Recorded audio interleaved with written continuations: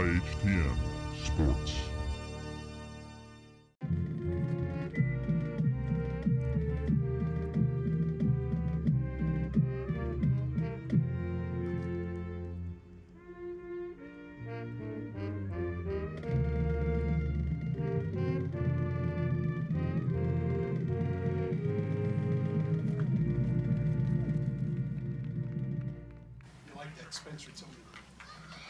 Welcome, ladies and gentlemen, to Tomahawk Stadium and tonight's contest between the Indian Hill Braves and the Finneytown Wildcats.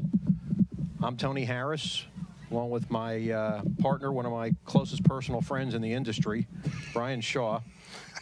Bring you tonight's action. So you really dress this up to call it an industry. Uh, volunteer work is an industry. There's no question. Hey, so what a difference a few weeks make. Uh, last time we were here playing Mariemont Braves at the tipping point of the season. Off to an 0 and 4 start. We're talking about, hey, you know, if they can get a win tonight, uh, they got a chance to run through some of this schedule and get themselves toward 500 and then uh, build from there and see what happens. And with the expansion in the playoffs, have an extended season, you know, all the things that we were hoping for. Voila, here we are tonight with an opportunity to get to 500.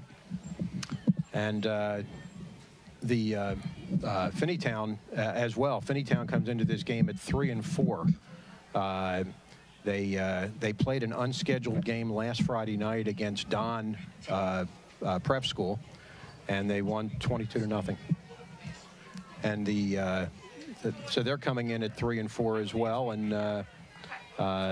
But uh, the Braves have a lot of confidence in, in what they're doing. Last night or last week was a, a nice victory over uh, Madeira, over at Yep. Madeira, and uh, uh, hopefully the Braves can keep that momentum. We, we thought we might have a little bit of a quarterback controversy uh, in that Johnny Pottigel, who's played so well for the Braves uh, during this winning streak, and Ty Thornton, who's been the star quarterback, who's been hurt for a few weeks. But uh, Ty, unfortunately, is still down.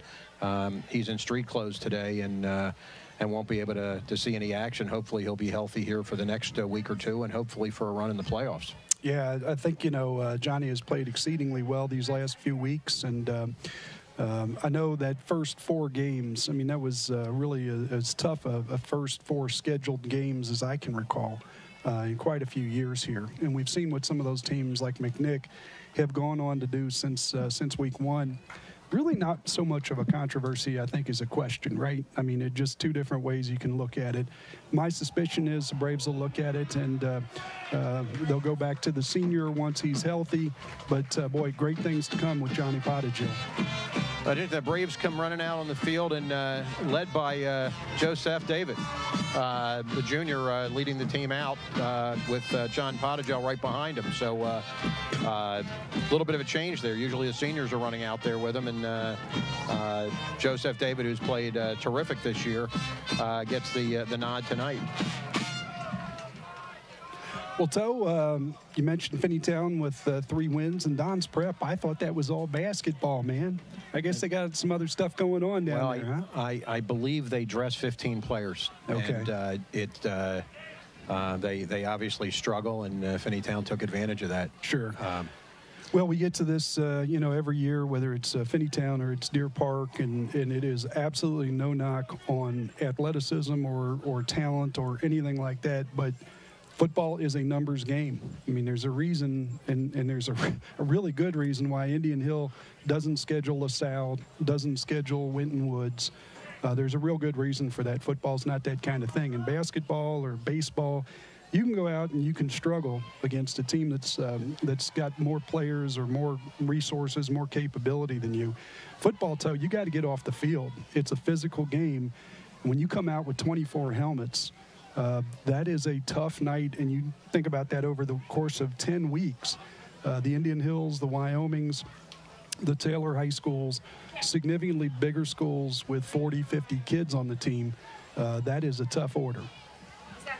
well, and, and you alluded to it. Uh, Finneytown is uh, dresses 24 uh, young athletes uh, here tonight. And, uh, you know, some of them are, are undersized and, and underclassmen that uh, maybe aren't quite ready to play yet. And uh, the Braves are hoping to capitalize and take advantage of that. Yeah, when you got numbers, if you got 50 kids, uh, chances are distribution is going to be good on the different types of roles that you need for a football team. When you get to 24, uh, you got a lot of guys uh, doing a lot of heavy lifting. And uh, we'll see a few of them tonight. And uh, speaking of which, and I mentioned Deer Park, I don't mean to put them in the same category because year to year things can look different. But boy, oh boy, am I excited at some point. I know we're on the road to see Nori Johnson. You talk about a guy individually that's doing some great stuff in this league. Nori Johnson's at the top of the list. Well, and the star player uh, uh, for Finneytown uh, for tonight that uh, we'll be keeping an eye on is uh, Ryan Sykam, number one. Uh, he's back returning the kick here, and they kick the ball away from him and short. And we'll have to apologize tonight. It's kind of difficult to read the uh, Finneytown numbers. The contrast is uh, a little difficult for uh, people of Brian and uh, my age to, to, to see quite that well. But uh, Yeah. number one will be a standout. He's the quarterback. Uh, he is uh, back there as a linebacker slash safety and uh, returns kicks and uh, again as the quarterback. But be careful. He he drops back uh, like he's looking to pass and he'll take off. Uh, he's uh, he's a, a very nice runner if he has uh, some blocking and the Braves hope to uh, neutralize that tonight. Tony Harris will go to extraordinary lengths to find out everything he can about this situation. Truth of it is, there's a lot that's missing, whether it's film or it's stats online about uh, Finneytown. So apologize to the fans if, uh, if we're not as familiar as we usually are with teams. Well, Sycam rolls out to his right and throws the ball away. There was nobody literally within 25 yards, and the official does a late flag uh, for intentional grounding. Um, there wasn't anybody even close. The, the entire Finneytown team was going left. Sycam went right and threw the ball out of bounds, and they are calling it intentional grounding.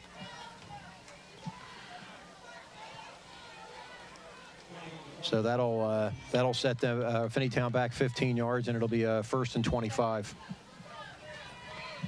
Uh, Braves getting great pressure uh, on the quarterback, and uh, again, something they hope to do most of the evening.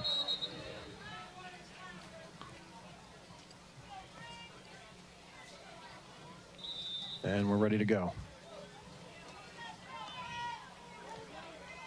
Sycam hand it off and taken down right away for about a three-yard gain and uh, a host of Braves in there on the tackle. Uh, Brian, we'd be remiss if we didn't mention that the Braves are without the services, most likely the rest of the year now, of Carson Devine. Uh, their outstanding uh, offensive and defensive lineman who's who's played such a great role uh, uh, both on and off the field for uh, for Indian Hill all year, and uh, it's a it's a real shame that that had to happen to him over at Madeira last week. Yeah, so uh, that's a big shame and a big loss, both sides of the ball. Uh, there's uh, Eli Riggs in on the tackle along um, with uh, Birch Carter. So, um, CJ Hayden in the area right there. so the Braves have uh, have this smelled out. Uh, Sycam uh, really can't do it alone, and uh, he, he tries, but uh, at fourth and 30, I, I don't believe Finneytown has a play for that, and they're going to try to punt.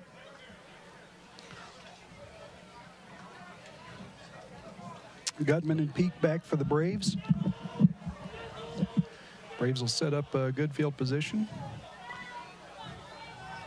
I believe this is Adam Dace as the punter.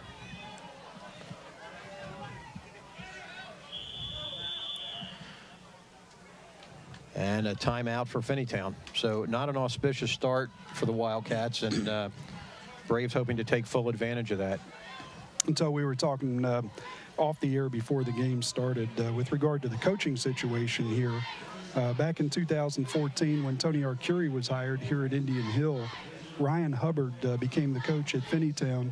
He was replaced in 2017 by Warmack, the uh, the head coach and athletic director. Thought he was uh, able to focus on the AD responsibilities. Uh, Mike Weller was hired uh, and then um, left the program this summer. So uh, the old coach is back. Uh, he's had double duty before. At Schroeder was both football coach and athletic director. I think assistant athletic director. So uh, a lot of lot on the plate of, of Mr. Warmack. Coach has got a lot going on. So Well, let's hope the Braves now with with both uh, Robbie Gutt and Antoine Peak have something going on after this uh, this kick. Here goes Antoine Peak. Goes to the right, and there's a penalty on the Braves, and uh, unfortunately, this great return is going to be coming back. Uh, Antoine got all the way in, but the uh, the referee had thrown a, a, flag all the way back at the 40-yard uh, line. So I think he was just marking the spot of um, of, of, where he oh. picked that up. Yeah, okay. where he made the catch. So that's clean. Okay. All Braves right. are in for Good. six. I didn't see uh, Robbie Gutman didn't touch uh, a guy on the other side. I didn't see where the right. where the flag was going to be. I, right. Um, I mean, he was you know, Cinderella running from the ball.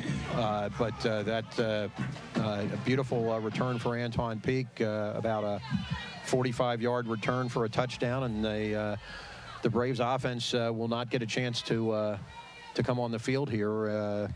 Uh, hopefully for another minute or two. Yeah, I love the fact that uh, Antoine came and made a play on that ball. A lot of times this year, Toe, we've seen guys letting the ball drop or whatever the case may be, and just like the aggressive nature of that. Alex Grace booms it through, and the Braves take a 7 0 lead. Alex Grace uh, is the backup quarterback tonight as well. So uh, Alex Grace, who uh, uh who handles the uh, kicking duties uh, and uh, plays a little bit on defense as well, is uh, going to be the uh, backup quarterback tonight, and uh, we're hoping to get a lot of opportunity to see him. Until uh, we've talked in the past about different Braves kickers. Uh, Folke had a string last year with regard to extra points in a row. of course, Luke Lundberg had, I think it was 40 or 50 straight extra points made, and Alex. Alex Grace is now 14 in the book perfect 14 for 14 on the season. Once again, shout out to uh, to Al Alex Grace's mom, who uh, comes down and shags footballs for him when he kicks uh, all by themselves down here, spending quality time. Well, hopefully you didn't jinx them because uh, Mrs. Grace may be coming up here. Uh, yeah, okay, there's no such thing. There's Alex with the kickoff, and there's a short kick, a little squib kick, and Looks like a, a uh, grease pig there, and they uh, Finneytown picks up around the 31-yard line. Uh, they really want to keep the ball away from Cy, um, Sycam. Um, you know, he's a dangerous, dangerous uh, player for uh, Finneytown, and um, on a kickoff return or anything, you just don't know what can happen. And yeah, hard to tell, Toe, on that one, if that was a squib to avoid the return or if that was for possession. Uh, you know, I think inexperienced kicker. Alex has, I think at Northwest, I think he had an onside kick or two trying to get back in that ball game. But that one looked like it was kind of in the middle. Sycam cocks his arm and he's running. And he's not going very far. Yeah, uh, great job by Eli Riggs to get him out of the pocket. And Robbie Orr uh, there to throw him out of bounds. So, yep. uh, yeah, Robbie Orr out there on the corner, great contain. And, and uh, great job there loss of five uh, for uh, for Finneytown, and it'll be second and 15. Yeah, Robbie Orr's been playing a lot of football for these Braves. He was ready early as a uh, freshman, ready to contribute, and uh, been doing it ever since.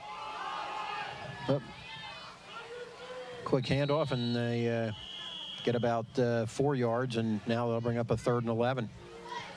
And Finneytown does not like to throw it very much. Uh, they when they played Mariemont a couple weeks ago, uh, they had 40 plays from scrimmage. 33 of them were running plays, and they were down 17 to nothing in the first quarter. Uh, they they don't throw the ball very much. Sounds like uh, Wyoming, except for the score. Speaking of Wyoming tonight, uh, Wyoming down at Mariemont, taking control of this league and really, to, for all intents and purposes, a, a chance to really uh, put a stranglehold on it tonight down at Mariemont. And here's the problem when you let him go free, but he does not get the first down. it looks like he went out of bounds a little short. Yeah, really good job there uh, by uh, Will Adair uh, to um, kind of get in the middle of the field and patrol that and corral him toward the sideline. Well, Sycam goes out of bounds uh, about a yard short of the first down, and it's now fourth and one. Will Adair, we, we need to uh, uh, mention him as often as we can. There was a number change the last home game, and, and Will uh, no longer wears number six as what was in the program. And uh, well, it looks like a fumble, and uh, either way, it'll be the Braves' ball. Uh, Will wears number 51 now, and um, uh, he deserves a lot of credit. The uh, in that last home game, uh, we uh, he, we weren't talking about him. We thought he might have been hurt or injured, and there was a, a number change. And Will is a very, very important part. He's on the offensive line now, um, as well as uh, the defensive line, and he's he does a magnificent job for the Braves on both sides of the ball. And uh, uh, Will, we're sorry that we uh, we didn't acknowledge all, all your attributes in the, uh, the, the last home game, but uh, we so, certainly will tonight. So now that we're past the sappiness of it, uh, no, no, I, I, am looking at 51, and it reminds me of a guy that played at Milford High School back in the uh, mid 80s. He wasn't nearly as athletic or as good looking or as uh, as good a football player as this Will Adair is, but I can't remember the guy's name. He was at Milford, number 51. It'll come to me. Napoleon McCallum. No, it most certainly wasn't Napoleon McCallum. No, that, that guy was a dude.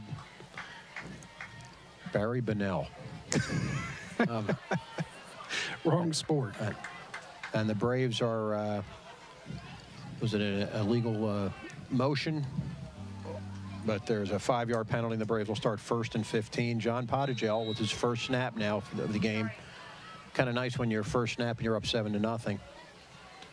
Nobody in the backfield with John. Peak and he hands it off to Antoine around the left side. And, oh, Antoine thrown down, but uh, a nice uh, six-yard gain. Uh, and uh, so the Braves now will be at second and nine. So John Potagel's done everything you could possibly ask uh, of a guy to come in, you know, at this park. Now, lots been made of the schedule, and it's a, hey, this was a little different group than the first four we played. And I would say the biggest thing really is the line. When Devine got healthy and you moved Adair into the uh, line, I think it's just made this team significantly There goes better. Antoine Peak. And Antoine Peak with his second touchdown of the game. A 38-yard run. And uh, that's pretty nice. Two touchdowns in uh, three and a half minutes for Mr. Peak.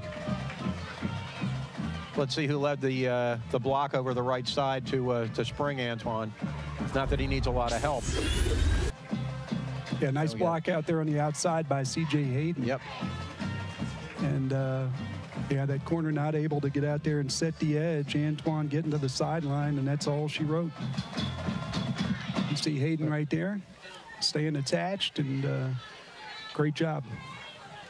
Usually, Toe, that's what it comes down to. Guy beats the first man, and then you need a wide receiver like CJ wow. to uh, to make a block. Well, Alex Grace booms it through again. That's uh, he hit that one about 40 yards uh, through the uh, the uprights, and Johnny Podagel with a little bit of a, a, a, bad snap and puts it down beautifully. And the Braves take a 14 to nothing lead uh, with uh, just over eight and a half minutes left here in the first quarter. Yeah, so as we always like to say, I mean, it takes uh, three components: good snap, good hold, good kick. The Braves uh, have been good at it for quite a while. This is a team that uh, that executes, and that's uh, that's good coaching. Hey, so you know, just uh, thinking back again about that uh, that situation with the uh, the quarterback change.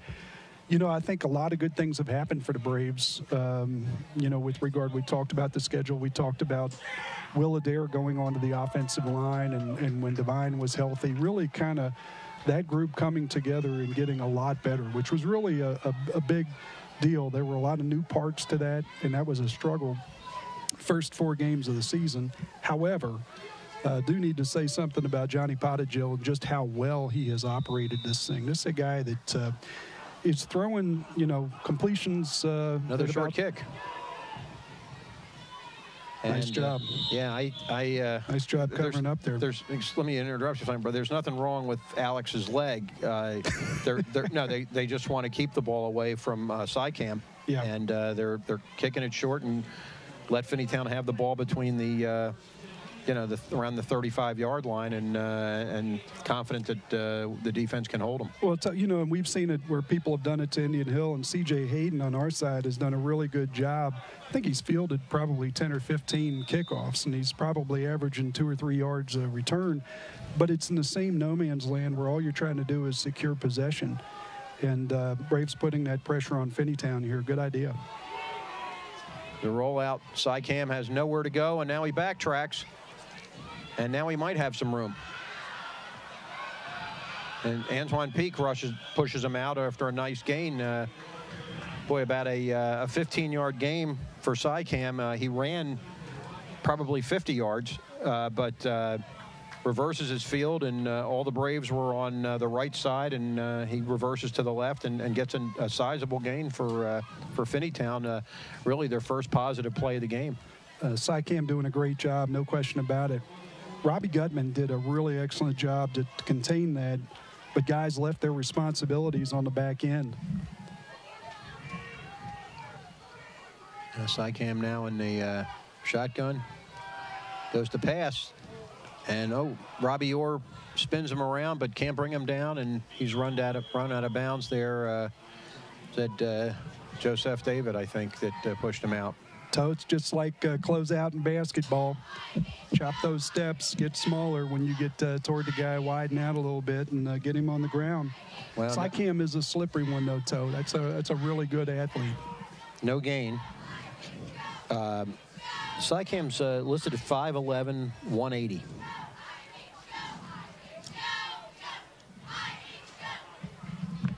Looks taller from here.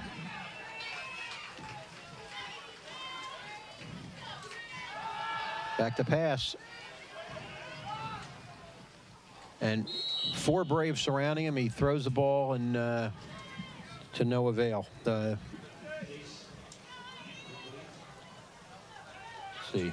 That's Adam Dace that uh, he threw the ball to, hadn't come back for it, and uh, and dropped it. But uh, if he had caught it, uh, it would have been for no gain. Adam Dace, good baseball player. As was his brother.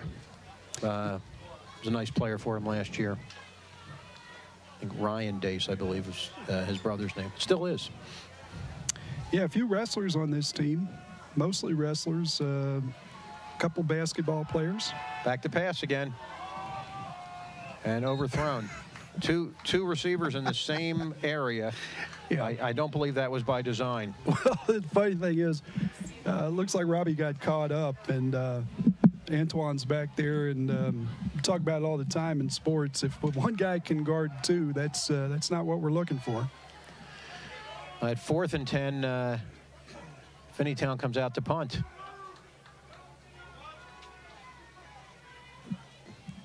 As you mentioned, we have uh, Yeah, fourth and ten here, Toe. Gutman and Antoine Peak. I have a feeling they'll try to kick it away from Antoine this time.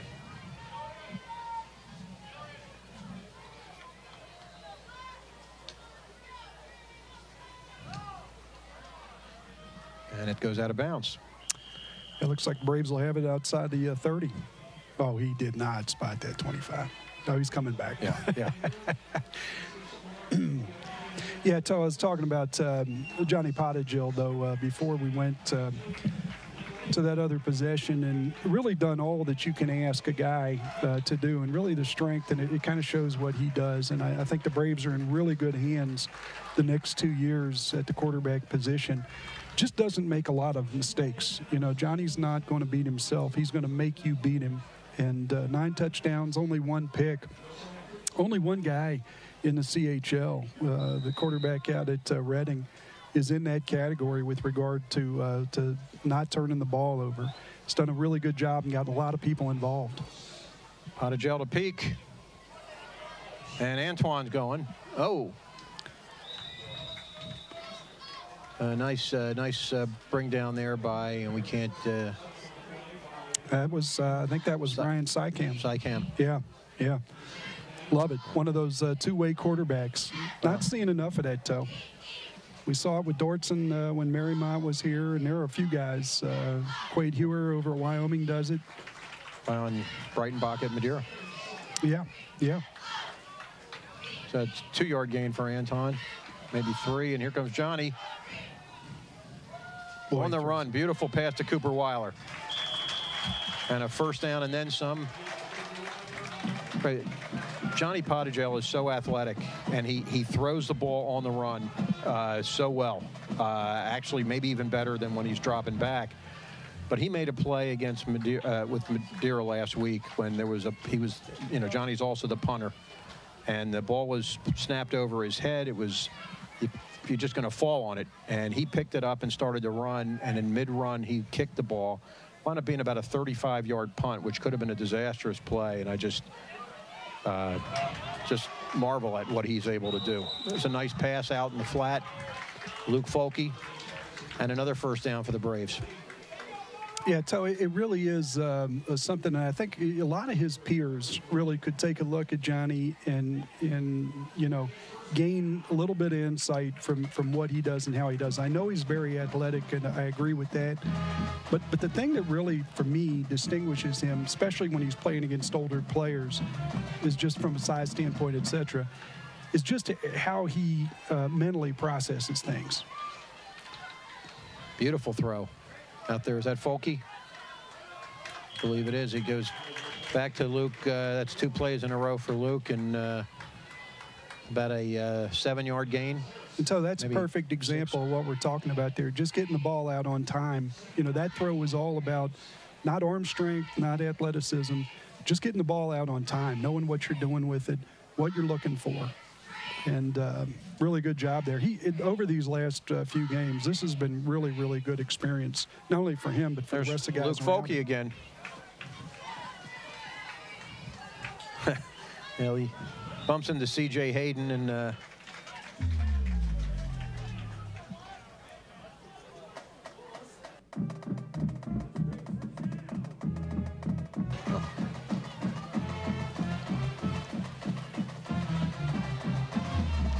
the Braves really uh, have Finneytown on their uh, on their heels right now. Uh,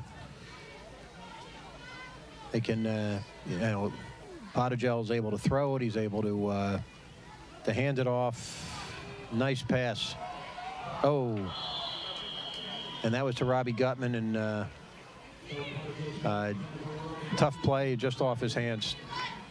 Yeah, another ball that was out on time, so you know it's a long throw if you don't throw it early enough.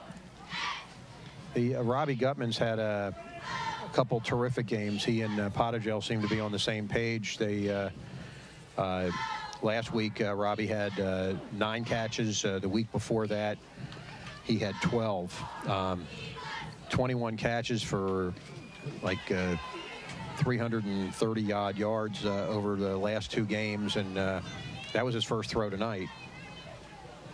There's Antoine Peak. And uh, down to the uh, five or six yard line, and uh, the Braves have another first down. So good to see the aggressive nature Antoine's bringing to the game tonight and what he's done over the last few weeks, finishing those runs and not just taking hits. Absolutely love it. Uh, he's he's dishing out the punishment. I I don't think uh, Finneytown wants any piece, any uh, more of uh, him than they've already seen. Uh, Antoine has scored the first two touchdowns already tonight, and the Braves on the six-yard line, and Antoine to the right of Johnny Podojel. wow. Oh, there's Luke Folke. Beautiful. Uh, kept his toes in in, uh, in the end zone and not out of bounds, and the Braves score again. Yeah, so uh, how about Johnny able So We're going to take a look at the replay here. it's fine. But how about a Johnny Podojel buying some time here and watch Folke set up shop over there and give him a target.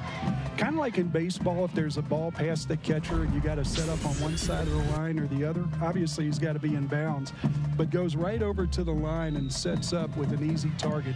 Great throw, too. Right-handed quarterback going to his left, able to square his shoulders and fire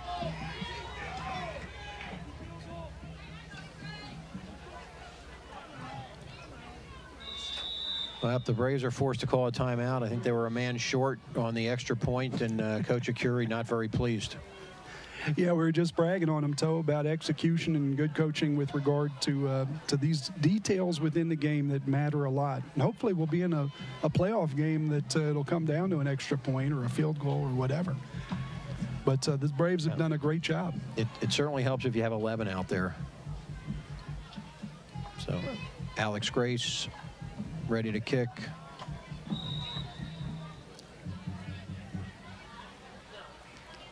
Oh. Oh, wow. How about that? And the and Braves go for two and they make it. Riggs. Beautiful. How about that? Uh, nice pass. We mentioned that Alex Grace is the backup quarterback and uh, looked awfully uh, awfully sharp right there. So take a look at this. He really led him. An athletic uh, play there by Riggs to, to, corral it. That was not a bad snap. That was uh, that was intended. And, well, uh, it kind of explains the, the 10 guys on the field, Toe. Yes. Yeah, I bet the kids were excited to get out and run that thing. So the Braves go up uh, 22 to nothing with uh, just over seven minutes played so far in this game. So, you know, and, and, people might say, hey, first quarter, uh, we're going for two in a game that's getting out of hand already here. Uh, I think you're trying to give people things to think about. You know, you look down the road and you want to have things on film that somebody may just spend five minutes in a practice going over. You know, coach may spend 10 minutes in finding it, they might spend five minutes in a walkthrough on it, and it's something else they don't get to. And if it comes down to playoff game and you're playing a Clinton Massie or somebody like that, hey, if you can make them spend some time in preparation, it can help you. No disrespect to anybody. Well, Alex hits it a little further than he had the previous couple, and Finneytown picks it up, and they're brought down immediately. Ethan James. James, nice tackle down there on the uh, on the 30. So uh, the Braves obviously uh, are, are, intentionally keeping the way from uh, Sycam and uh, not giving him an opportunity to return. And uh, uh, he doesn't have a whole lot of help right now. Yeah, and this is what we're talking about, Toe. You know, uh, you, you, wouldn't really notice it quite as much in baseball. I guess if a pitcher couldn't get some outs and the guy's throwing 200 pitches, you know, to try to get out, you know, of an inning or whatever, you might notice it. But it really is not the same as when you're physically outmatched in a football game. Well, speaking of baseball, Brian, um, Indian Hill hired a new baseball coach uh, a week ago, uh, a gentleman by the name of Kerry Daniel. Uh, and uh, Coach Daniel is going to be with us in the third quarter, and uh, uh, we'll spend a little time with him talking a little baseball. That sounds great. And so, speaking of baseball, I mean, have you been watching any of this this postseason? I know they just started it, but boy, I tell you what, there's been more drama, more great games. Well, they call the Braves for offside. Um, I saw some movement, but yeah, I didn't see side. any contact.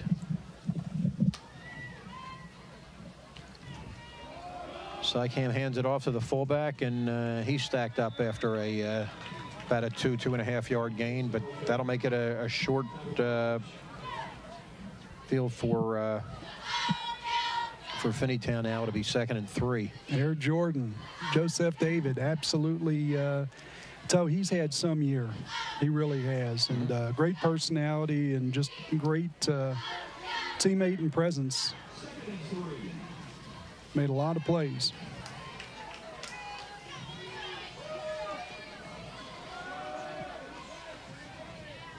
Again to the uh, the fullback, and he's just a little bit short. So I think we're going to have a uh, third and a long one or a short two. Right. And so what I think what you're seeing here more than anything is just a, a, a, limited playbook. You know, if you don't if you don't have the guys, you don't have the the different things that you need to run an offense, you start to, to compress a little bit. So it becomes a little bit predictable, and um, you know, Braves uh, really clogging that line. Third and two. We'll see uh, what Mr. Sycam decides to do here.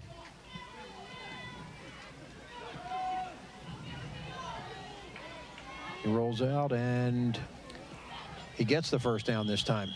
I remember last time uh, he had that opportunity, he went out of bounds a yard short, extended himself a little bit, and uh, Finneytown has a uh, has a first down. So he's an active guy. No question about it. This uh, this Finneytown team uh, relies on him, as it looks like from just what we've seen here the first few minutes, more than any team I can think of. Relies on an individual player, so.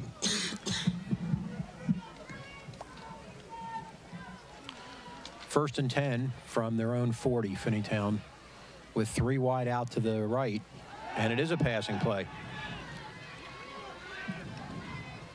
Joseph David runs Sycam out of bounds, and that's uh, about a six or a seven yard loss. Yeah. David doing a great job. Also, Robbie Orr getting in there once again and uh, did a really nice job of staying down and uh, forcing him out of the pocket.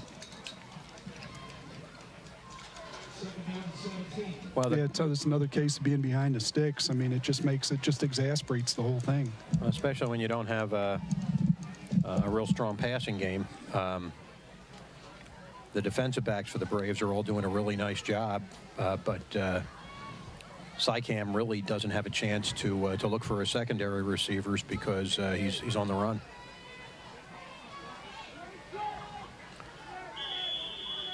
And another timeout for Finneytown. That's their second of the half already. And uh, the Braves will huddle as well. So that's pretty exciting news having uh, Coach Daniel stop Yeah. by. Tell you know, tell people a little bit about it. I know uh, this is a football telecast, but gosh, baseball season will be here before you know it. And some of these Braves uh, football players uh, also play baseball.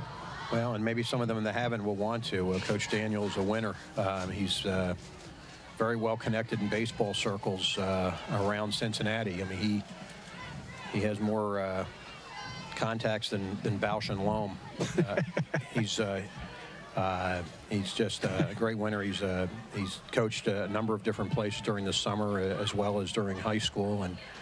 Uh, uh, Cincinnati Baseball Club, the CBC, is uh, he's the founder of it, and uh, they have uh, 40, 45 teams at different age groups, and a lot of kids have gone on and and further their career in college and beyond through CBC and through Kerry Daniel.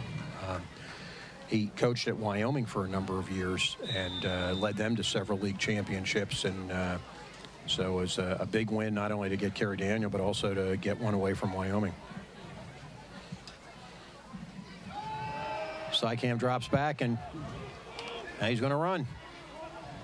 And Joseph David again uh, is there, and they uh, he gets out of the original line of scrimmage. Uh, he's run out, and now it'll be third and ten. So that might be the best play in high school football. If you've got a good athlete, anytime there's a break and contain, um, and you get a guy out there in space making plays, and this is a guy that, that can do it. Uh, that honestly, that is that's not a bad play.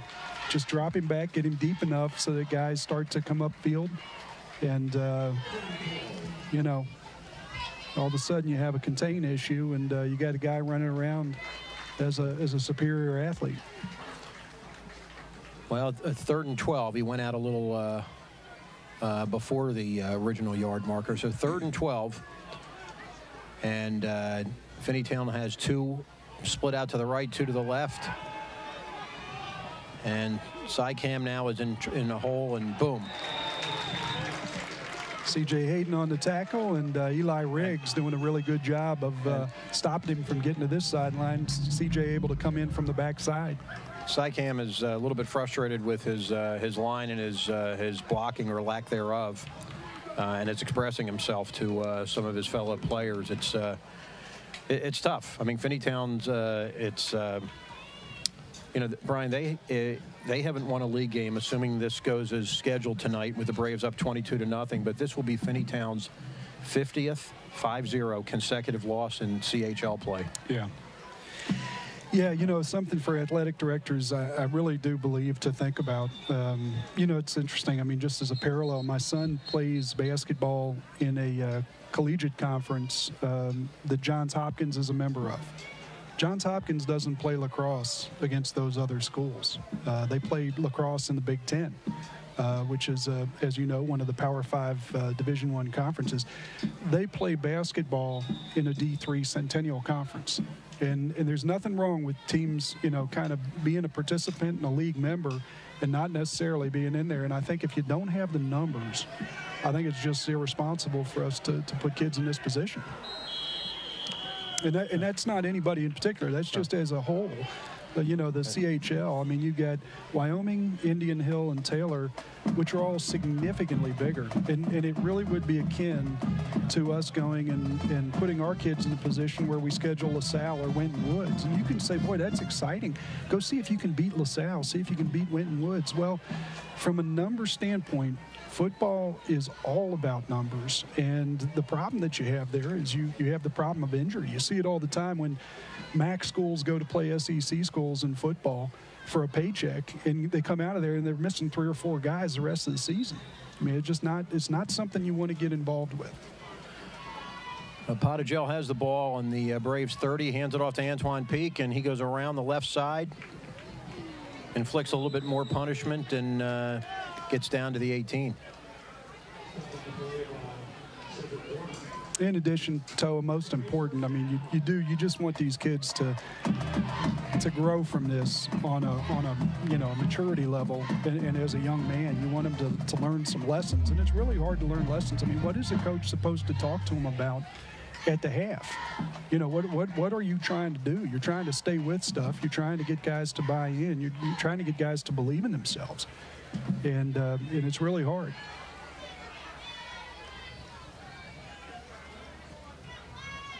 Johnny rolls out, fakes to Potagel, and he scampers himself, gets ooh, hit hard, but goes down to the uh, four-yard line.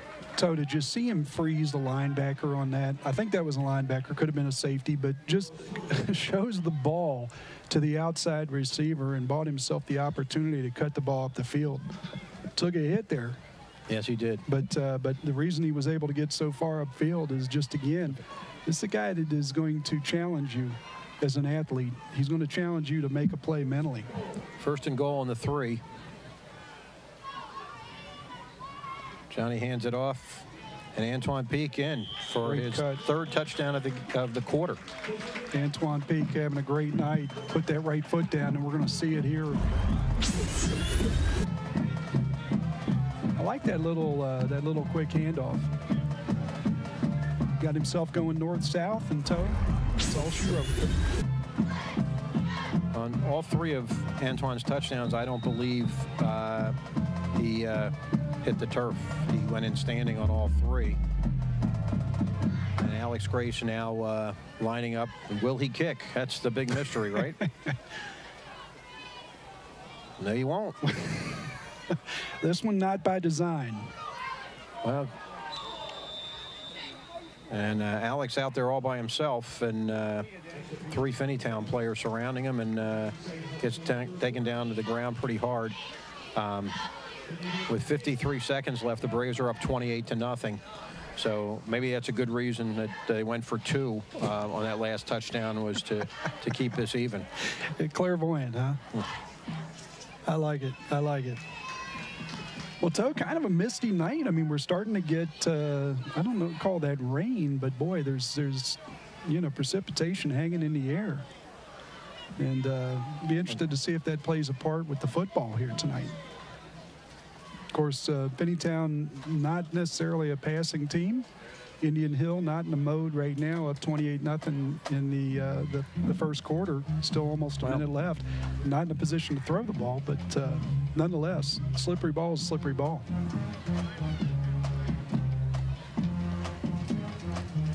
Well, the Braves have uh, a good part of the junior varsity dressed for tonight's game, and I, uh, I have a feeling we're going to see quite a few players we haven't had a chance to see uh, during the second half, uh, guys that normally play on Saturday mornings. Uh, Finneytown does up another short kick, and it, I thought it might go out of bounds, but winds up being a very effective kick, and uh, Finneytown player down on the 21-22 yard line. And so that's the kick that I kind of thought we might see. You know, if you don't want Sycam to have it, but you still don't want to give him the ball at the 40, perfect kick right there by Alex Grace. Well, he's getting a lot of practice, and uh, that uh, that was Alex's fifth kickoff in the first quarter. Um, you know, I mean, five in a game's usually pretty good, right? But that's that's that's that's in the first quarter. So Yeah. um, I'm not sure who the backup um, kicker is, but we might we may even get a chance to see uh, to see him. Well, you know, it's funny uh, you, you say that, but Luke Folke was our kicker. He's true. still on this Did nice roster. Was kicker Yep. last year, yeah. Did a good job. Probably not a bad idea, to your point, to get him uh, a couple of reps here in a, in a game situation in case you need him. Sycam under a lot of pressure and pulled down. Great play. I'm trying to think who that was. Say 40. 48. That was 48. Okay, well that's Zach Fitzwater. Yeah, Fitzwater, the freshman.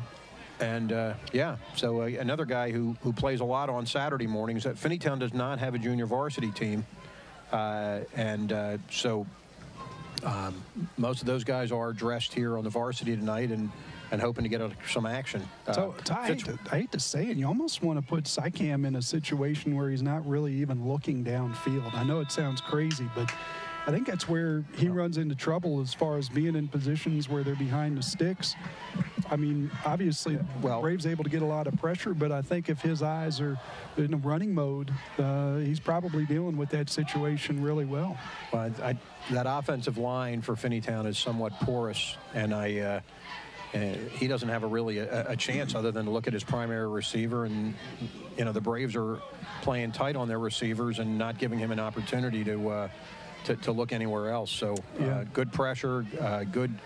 The defensive backs and safeties are doing a great job, and, and the Braves have total control here. I think Finneytown has had maybe two uh, offensive plays that have uh, been uh, significant Yeah. uh, so far this evening, and uh, the Braves up 28 to nothing here as we head to the second quarter. Well, it's interesting, you know, we think back to Wyoming, and I, again, different type of athlete to be sure, but uh, when Evan Prather was there, I mean, I can remember the Braves, you know, Wyoming seemingly would let those ends get a little deep um, on the quarterback. Get a couple of guys up front that they could actually just get in front of. Let those put maybe your weaker blockers on the end. Let guys shade them toward the middle. Let them get up the field and come run underneath them.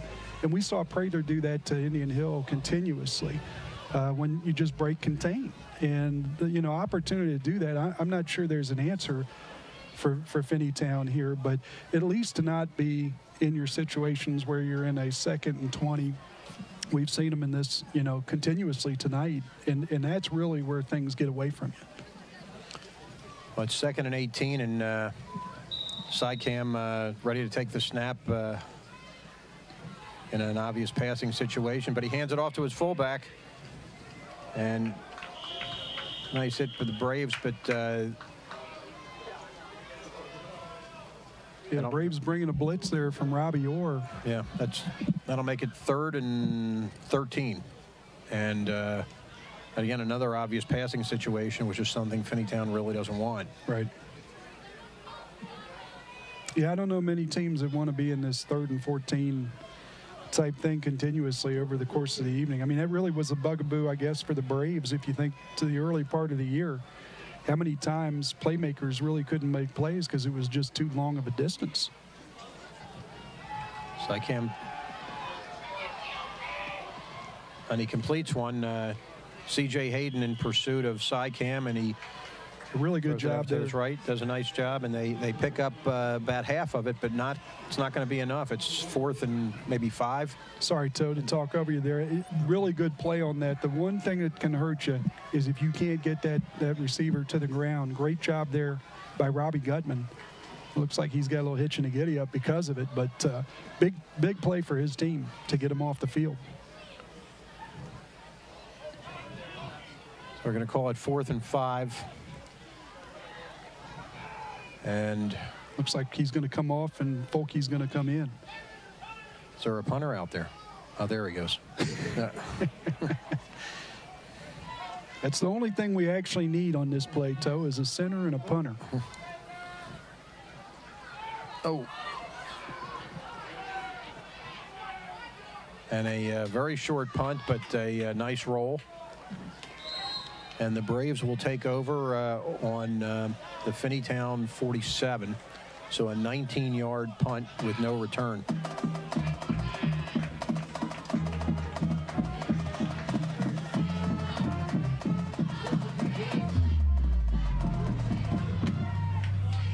Yeah, Toe, somewhere Ebenezer uh, Finney is saying this is not how we're supposed to be doing it, guys.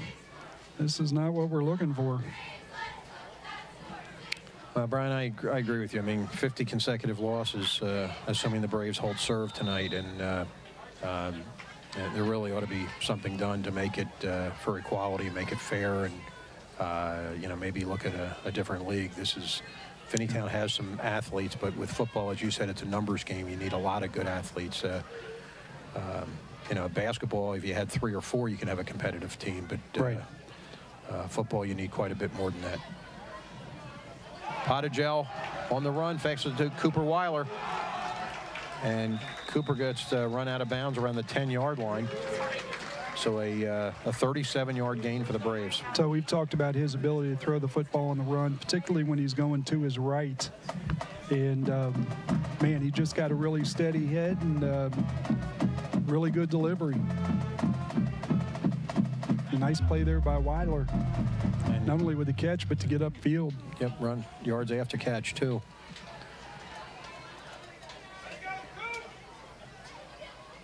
And I, uh, they actually had Cooper out at the 11. I had him at the 10. Let's see what uh, Johnny has to store for here. Antoine Peak. Here he is for another touchdown on his feet. And uh, again, the uh, Let's take a look at this one here too, Tom. Let's see who opened it up there on the left side. Well, there was nobody to open up. Uh, it was uh, he was as uh, open as your fly, Brian. It, it was uh, wide open, and uh, the uh, You made me look, too. uh, that's uh, Antoine Peak's fourth touchdown of the first half. Yeah, Ty Kendall with a really nice block there, taking a, uh, a guy that's over 300 pounds. And back on the horse here with the Braves extra point team. All right, so the Braves take a 35 to nothing lead. So the all-time series, I was just looking at this uh, all-time series between these teams. The Braves lead at 35 to eight. Where you know you say, hey, what's the big deal? But uh, Braves have won every game since uh, 2011, and really that's the I think the crux of the issue. To you know that Winton Road area is uh, very familiar to me. And really, you know, for Finneytown, a lot of the athletes I know, you know, my son's age area, you know, guys four or five years ago, we're heading uh, up Winton Road to Winton Woods High School, open enrollment high school, you know, right in the area. And you got an opportunity to go out there and, and be a part of that program. And it's a really good Division two football and Division one basketball program. And uh, it's just, you know, in this day and age where guys are able to pick and choose and make decisions about things, um, you know, this is, a, this is a proud community. This, this Finneytown uh, area, gosh, you think back uh, over the years, this was the home to a lot of things that we enjoy every day uh, that were developed at Procter & Gamble, our families that lived in Finneytown. Short kick, and the Braves come down, and we are now uh, on a running clock. Yeah, yeah, first Um, first a half running clock. It's oh, you know, just I mean, thinking about the Finneytown, this is a, a program that in the mid '70s and the early '80s won three state titles in soccer. You know, uh, it's the home of. Um, Amanda Borden, the uh, the gymnast, the '96 uh, gold medalist. Uh, you know, this is a place where uh, there's a Pringle drive for Pringle potato chips developed there. Olean, the fat substitute, uh, by a guy in uh, Finneytown. Uh, the hourglass shape of the diaper toe. I know that's important to you. It was at one point, and it soon will be again. I mean, that's another thing, you know. And uh, I mean, these are these are really, really. This is a really, really good community, and uh, it, it's just tough from a number standpoint. A nice little run there to the right, and uh, And the best Greek festival. Oh. if you like Greek food, toe, the best Greek festival that you'll go to in this area. If you're not in Detroit, up at Greektown, you want to be over on Winton Road for Greek food.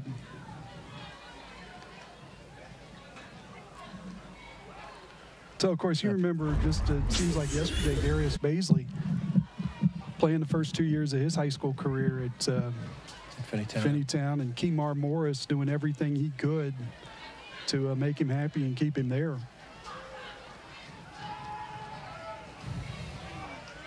Braves in hot pursuit of Sycam, and uh,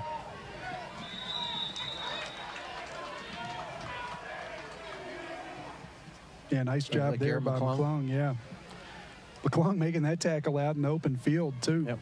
And, Give uh, him credit. That's uh, that's a lot of athleticism there shown by McClung.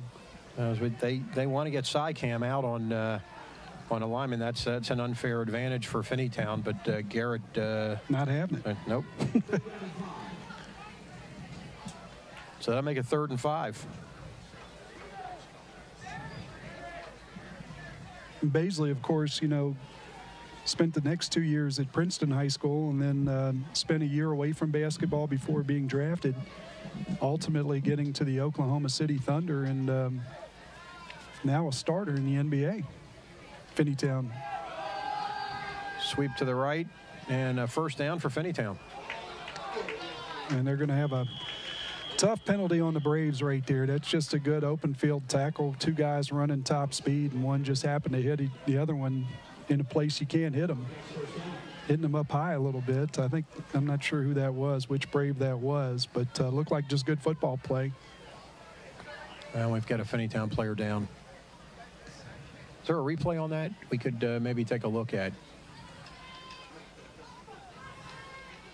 But uh, so they're going to move it up 15 yards. Yeah, they're going to the target for. That's the one that, uh, you know, I get it when a guy's in the pocket and he's stationary or whatever the case may be. But boy, all too often in the secondary, it's just two guys moving at a really high rate of speed and changing direction, and you're trying to make a play, and you know that's uh, that's a tough one. But you got to protect the players. I'm all about that.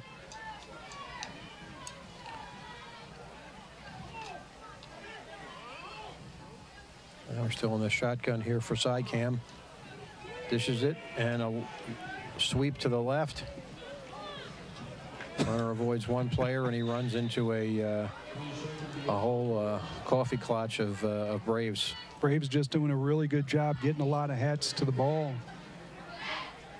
I'm just looking at that and um, you know making a great effort offensively to to try to get the ball down the field, but just too many guys there. Trey Carter, one of uh, several Braves in there for the tackle. Terrific pursuit. I think that I think that's a culture. You know, you, you got a guy like Joseph David that's just such a high energy guy.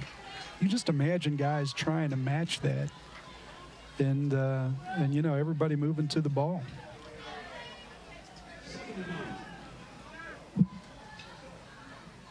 And second and nine, and uh, Shotgun again for Sycam. And he's under pressure. Gets rid of it. Great tackle. Is that Alex Grace? No, 23. No, that's, I'm sorry. That's what we just said before. It's Trey Carter. That's uh, he's right in the right place at the right time, and he led a nice hit on there. That's uh, and we've got another Finneytown player down. So another play where you've got, you know, you, you get the ball at uh, I don't know what that was. It was like 12 yards or something like that. And you know, another play where uh, you're going to give up something, uh, but really important to make the tackle. And another great play. Gutman made one a few minutes ago, and uh, now Carter. Can't take away everything, but boy, when you get your chance to get them on the ground, got to do it. And Braves have been doing it tonight. Now that'll bring up a third and six for uh, Finneytown. Check out the hustle. Coach Eli coming out there. Uh, doesn't. I think that's just water in that thing, but uh, nonetheless. Yeah. Coach Eli out there on the spot.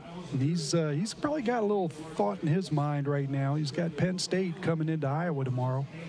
His Hawkeyes. Heady stuff, number three in the nation, and uh, top five matchup against Penn State. Well, yeah, you can see it on the screen. There's Coach Eli, the Braves uh, director of hydration, and uh, took over uh, for uh, from John Schneider, uh, who kind of founded that program a couple years ago and done a great job. The Braves don't seem to have quite as many cramps as some of the the other teams that have come in here, and Coach Eli and, and John Schneider deserve a lot of credit for that every uh, few years. I mean, people kind of come in and come out of the program. For those that don't know, Coach Eli, all Big Ten player at Iowa, born at uh, Iowa Hawkeye Hospital, son of a physician, and a bunch of Iowa fans and alums, and uh, decided to stay home. Had an offer from Notre Dame, so a full ride to Notre Dame, and chose to be a Hawkeye, and then, of course, a member of the Bengals and the Chicago Bears. Larry Eli, given a lot of time to this school over the years. Oh.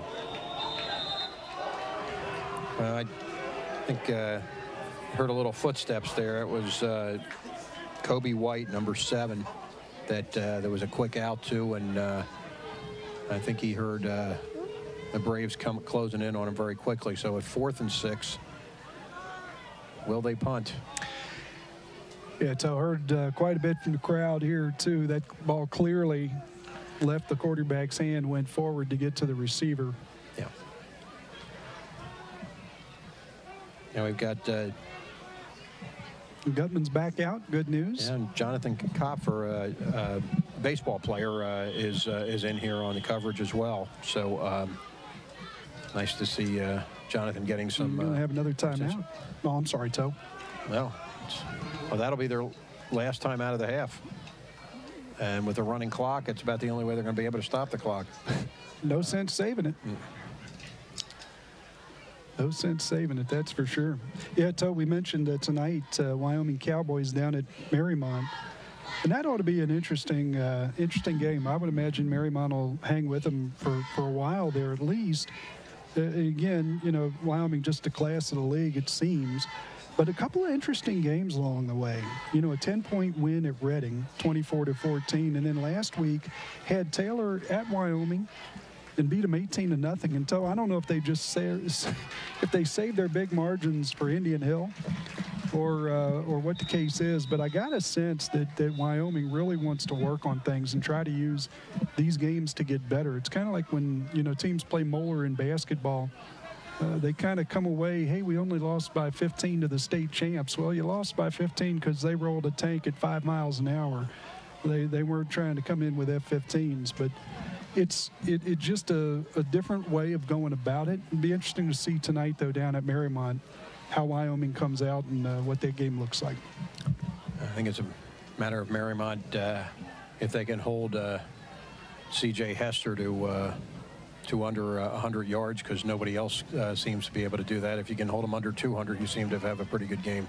C.J. Hester with more than twice as many rushing attempts as the next nearest back in the CHL. That's a lot of miles. A lot of miles they're putting on that young man. So, but he's up to it. He's uh, he just seems to get better and better. He got really good in that second half against Well- Indian Hill with a lot of touches. Finneytown's going for it on uh, fourth and six. Now that one's back. Yep. And another pass. And wow. well, you know it's interesting, too, as you look at the field right now. A lot of guys down the field probably saying, "Hey, I'm open, I'm open." Yeah, but I got five guys. I'm Running for trying to get life. it to you. Yeah, five guys hanging on me. So with uh, 4:24 left until halftime, the Braves will take over, and uh, this may be uh, the last uh, drive for uh, Johnny Potagel and company until they they turn it over to uh, Alex Grace and. Uh, uh, see who else uh, might. Uh, Noah Frazier, who's done a great job for the junior varsity, uh, is the third string quarterback tonight. So he'd have had to turn that ball like Jonathan India to get that down the field. Braves all over him in a hurry. And you're allowed to upend the pivot man in this game. Robbie Gutman closest to us and has not had a lot of action tonight, and uh, he's been a critical part of what the Braves have done the last couple weeks. But Antoine Peak, Yeah, tell this is going to be a running backs game for sure.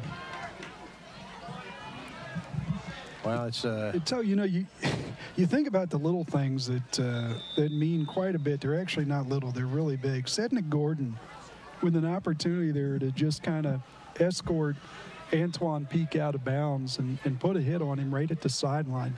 You're in a 35 nothing game, and you know you've got a season going like this. It says an awful lot about a young man to go out there and, and make a play like that.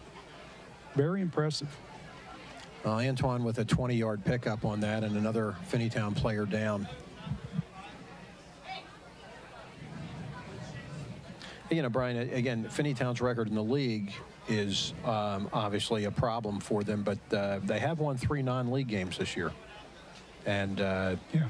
That's uh, that's as many games as they've won since uh, I think 2012. Yeah. So uh, uh, you know it's it's not all for naught, and uh, the uh, you know the competition like you mentioned when you're playing a bigger school like a Taylor or Wyoming or an Indian Hill, and certainly uh, Reading is good this year, and and Madeira and Mariemont. Uh, it's uh, uh, maybe they're a little bit outsized, but uh, Sure. some of the smaller schools, they they seem to be very competitive.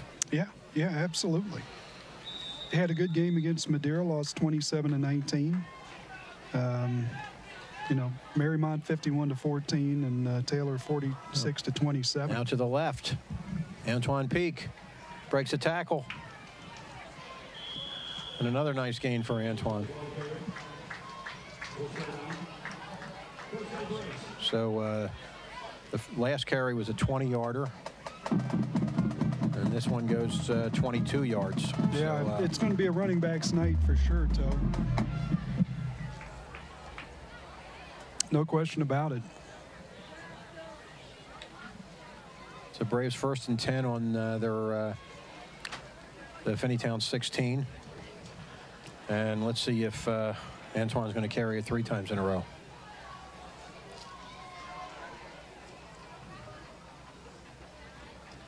There's Antoine Peak, and he's in the end zone, and he did not come down. So his fifth touchdown of the first half. Antoine Peak getting healthy here tonight. Well, five touchdowns. That's uh, that's a nice little half, isn't it? And uh, and again, he he has not been tackled in the end zone yet.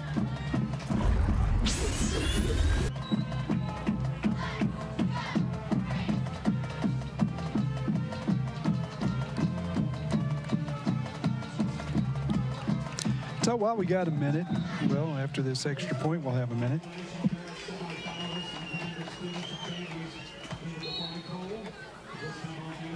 Alex Grace with another one. And by the way, that's Noah Frazier on the hole. You mentioned him Oh. earlier, and he has had a great uh, JV year as quarterback. And with a 42 nothing lead here before halftime, hopefully he'll have some opportunity to uh, express himself on the varsity field as well. He's a lot of fun to watch. He's all over the place. Guy with a lot of personality too. Very, uh, very good kid. Well, Toe, you know, you, you're looking at this. Uh, just wanted to um, a couple things going on at Indian Hill High School. First of all, congratulations to Ella Riggs on her commitment to play basketball at Furman University. That, of course, uh, Furman University familiar somewhat to Indian Hill in the sense that uh, Indian Hill Hall of Famer Josh Cooper went down there to play football about 20, uh, 20 25 years ago. The Purple Paladins. How about those guys in the Southern Conference? So um, she'll get a chance to uh, to run around in uh, Tennessee, South Carolina, Georgia. Mercer's down there. Uh, quite a quite a few good teams in that South Southern Conference. So congratulations! I don't know if you saw the picture of her. She had a picture announcing it. Looked like she had a black eye. Looked like she had a little shiner there. That was just a picture of toughness. Toughness, but Yes. uh, on the on the floor for a loose ball, maybe a rebound, boxing out, something Uh, like that. Maybe trying to box out her brother Eli for breakfast cereal or something. Yeah, that's probably it. Look who gets the ball on a kickoff. And Whoa, and maybe that's why the Braves were kicking away from the first uh, several kicks. you know, interesting. I think I saw the side judge threw a, a flag on that one. The guy that was actually on it did not, but uh, there was a flag, and it just looked like it was a play that started inbounds and just carried out of bounds. But congratulations to Ella. Uh, she's been a heck of a player for that program and done a lot here, and um, that's really good news. That's really good news. Sam Wyche's schools, in addition to Josh Cooper. How about Sam Wyche? Yeah. Very creative man. Well, the Bengals used to have a lot of guys that were really creative. Bill Walsh, Sam Wyche. I mean, they had some Pat McInally, Reggie Williams. They had some real thinkers on that team. Reggie Williams, by the way, so he did that whole thing down at Disney World. You know, if you ever had a chance to go down there for a tournament of whatever sport, but uh, that was his idea to put the uh, Wide World put Sports. that yeah that facility down there and hey why not draw families make it a destination little vacation time you know uh, beats the heck out of playing in some of the places we've gone to over the years but Uh, the uh, Finneytown gets a 15-yard uh, penalty on the Braves to. Uh, that's been about Finneytown's best offensive play is uh, a personal foul on the Braves. They've had two of them so far. And they'll take over at their own 44 with uh, a minute 56 to go on a running clock. And you're calling for more plays on the sideline if you're on that uh, in the booth for Finneytown let's get to the boundary get to the boundary see what happens know, I guess uh, Birch Carter comes off him. He must uh, they must have seen some blood on him or something, and uh, he gets waved off the field. But uh, hopefully he'll be back shortly. Sycam throws the ball. It's completed, and uh, a nice gain of about uh, six or seven yards for Finneytown. But remember, they, there's a running clock, and Finneytown has no timeouts left. Yeah, and so this is what we really like to see is a team get into a second and four or something like that. You know, second and five, give them an opportunity to uh, to to go on offense. I mean, you really just aren't playing the game if you're behind the sticks. So boys uh, soccer too might want to mention them. Uh, third place in the CHL at nine, two, and three. But if uh, Madeira can beat Wyoming this week, uh, the Braves have moved to second place. And they're calling uh, offsides on the Braves. Braves helping them out there. Almost like to see him. I, I know that gives them a first down, or at least gets them close. That's a first Yeah, down. it does give them a first down. Almost like to see a team get in that second and short. Just love that for teams, just to open up the possibilities. Girls soccer, uh, three, six, and six. Toe, they've got more ties than you do in your closet. Yeah, six ties. That's uh, Six ties. That's Here we go. for every Oh. day of the week almost. now Oh we see gosh. the open field runner. Look at that. And so I think the difference on that right there is just he knew what he was doing from the start. There's no eyes down the field and guys Well- coming around you and you don't know where they are. You, you feel bad for the kid because he's very talented. Yeah. And he just doesn't have a whole lot of help. And, uh, you know, that's one of the few times the Braves have let him out of their grasp. And uh, he scampers and does a great job. And that's going to be the end of the half. They're not going to have a chance to run another play. So look forward to coming back in the second half and uh, having the folks uh, hear from Coach Daniel. Well, as we uh, as we head to halftime, the Braves up uh, 42 to nothing over Finneytown, and uh, uh, the Braves will take a, a little bit of a rest, and we'll see uh, uh, hopefully some some fresh faces here in the second half for the Braves. Um, they've made their point, 42 to nothing, and. Uh, hopefully, we'll get a chance to see some uh, some freshmen and some sophomores that, that don't normally get a great opportunity to, to play. Get some young guys some experience and, and get both teams into some competitive situations, uh, situational football. How about a third and short? You know, let's see something like that. Makes your team better. Okay. Well, um, we'll be back in, uh, uh, it says 20 minutes. Uh, and uh, uh, please come back and join us.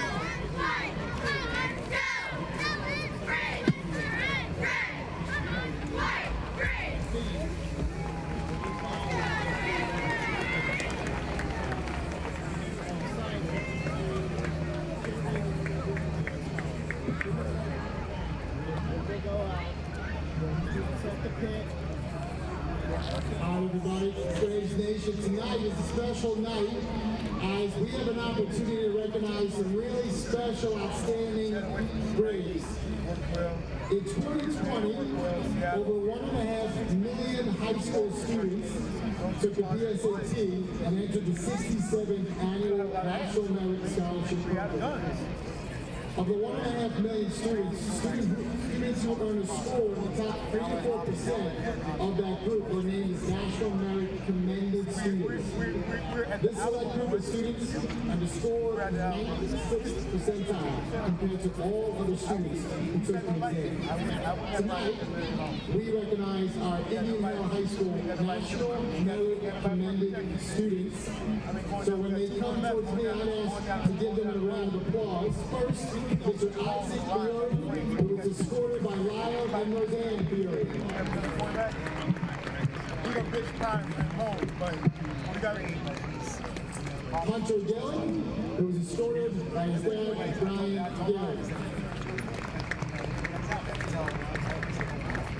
Gillen. I, I'm thinking about protecting Ryan. That's, that's my thought right now. was escorted by Ting what Liu like, and Jin you know, his athleticism has gotten him. You film, his athleticism has gotten him out of a lot of bad situations. I'm not one for pulling the guy. Tejas Pisani, who was escorted by That's that's that's weapon we got going forward. He ain't gonna appreciate it. Students who could not be here tonight Huffman, Wanda Crochet, Ethan Simon, and Gulala Abratova. Please give our commended students a round of applause.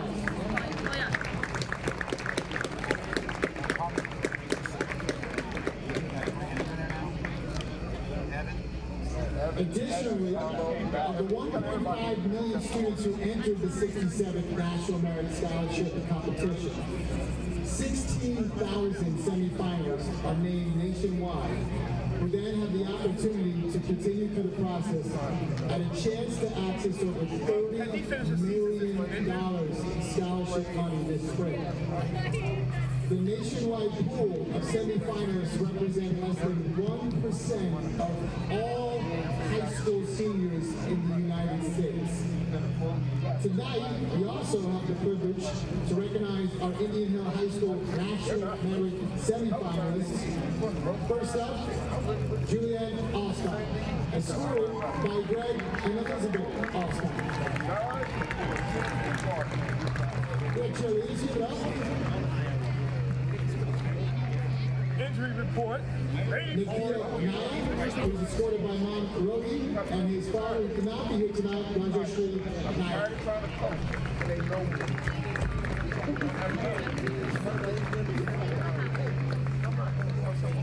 Kathy Zhao, who was escorted by parents Frank Zhao and LaQuang Wang.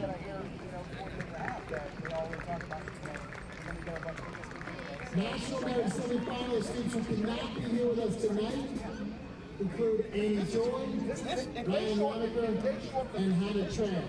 Braves, please put your hands together one last time in recognition of this amazing accomplishment from these students.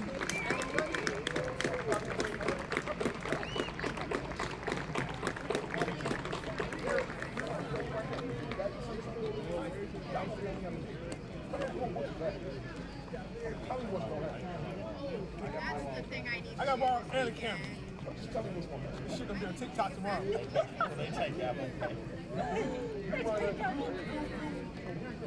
You run the wrong fucking route. Behind the line of And then we all shut down. He had everybody, he said, I had to run crisp enough route in order to come back for the ball. I was like, Uh, no, no, no, but that's off the slant. That's off the slant. How do you know how to come back off the slant? I, I heard that. I read he ready to come back off the slant. Holy Jesus. I would, I would get Ryan out there. and Think for the next two years. You're a better man than I am. You're a better man than I am. I'm not. I'm not. No more. Oh, Ryan, Ryan's another one? I'm- I'm not there Monday to Thursday. Sorry.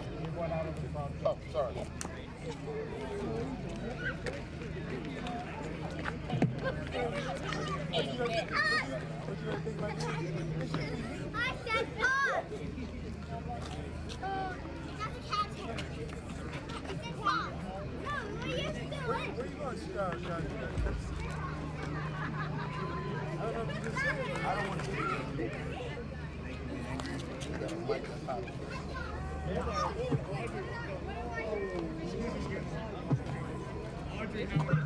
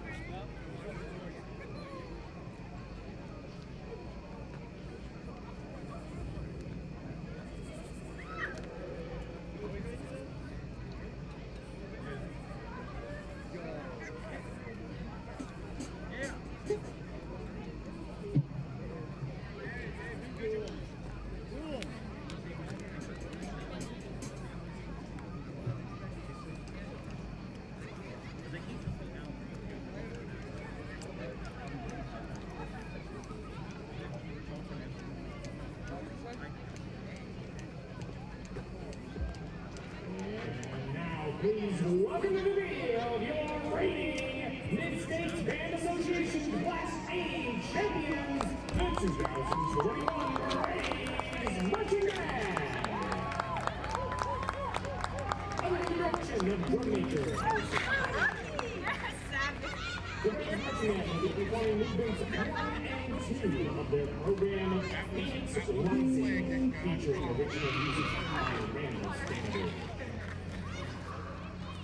Major, is your man ready?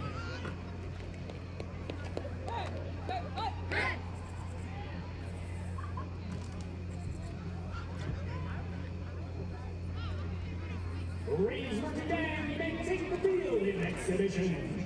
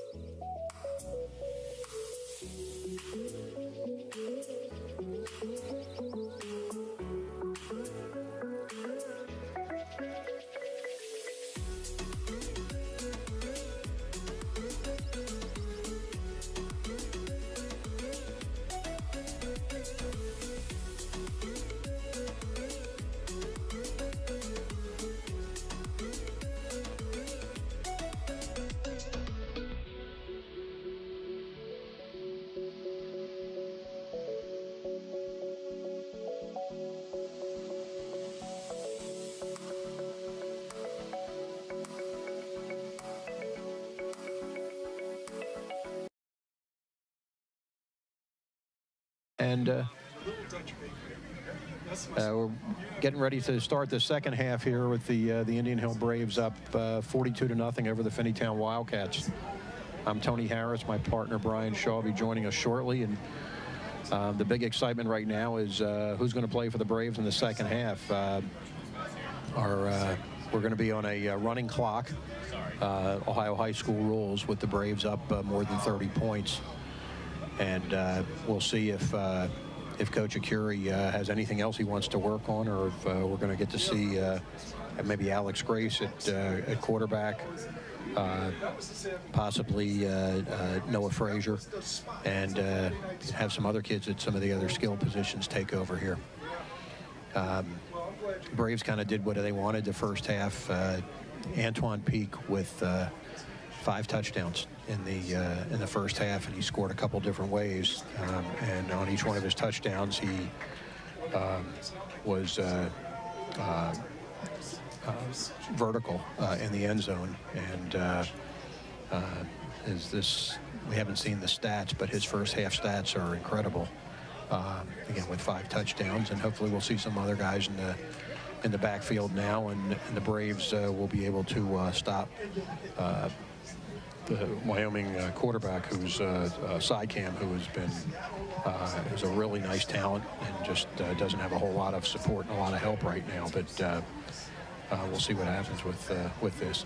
Um, also, shortly into the third quarter, we're going to have an interview with the Braves' new baseball coach, just hired in the last week, Kerry Daniel, who had previously coached at Wyoming High School and uh, and have done a, a terrific job there. And the Braves uh, feel very uh, blessed and uh, grateful to have a, a terrific baseball coach. And hopefully, the baseball team will start having the same kind of results that the the football and the basketball teams have had here the last couple of years, and soccer as well. Now, let's see, the Braves are back to uh, return the uh, opening kickoff here in the third quarter, and uh, let's see, we've got uh, Luke Folke and Antoine Peak to uh, set to return, and uh, I would uh, imagine that Finneytown will not be kicking the ball to Antoine Peak. Uh, he uh, he just ran right over them here in the first half, and I, I don't think they want anything more to do with with Antoine. Kobe White, number seven, is the kicker for Finneytown, and we'll see if he tries to direct it to Luke Folke over on the right. 42 to nothing. The Braves haven't had a, a lot of games like this uh, lately, and uh, uh, enjoying this very much. And a uh, squib kick, but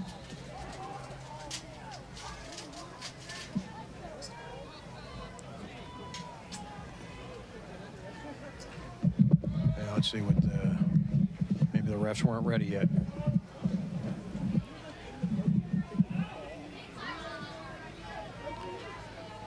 Say Kobe White now will kick off again, and uh, maybe just the refs weren't quite ready to uh, to have them start. And here we go. Running clock. We're 30 seconds into the quarter already, and they do kick it to Antoine Peak. One sets up, and here we go.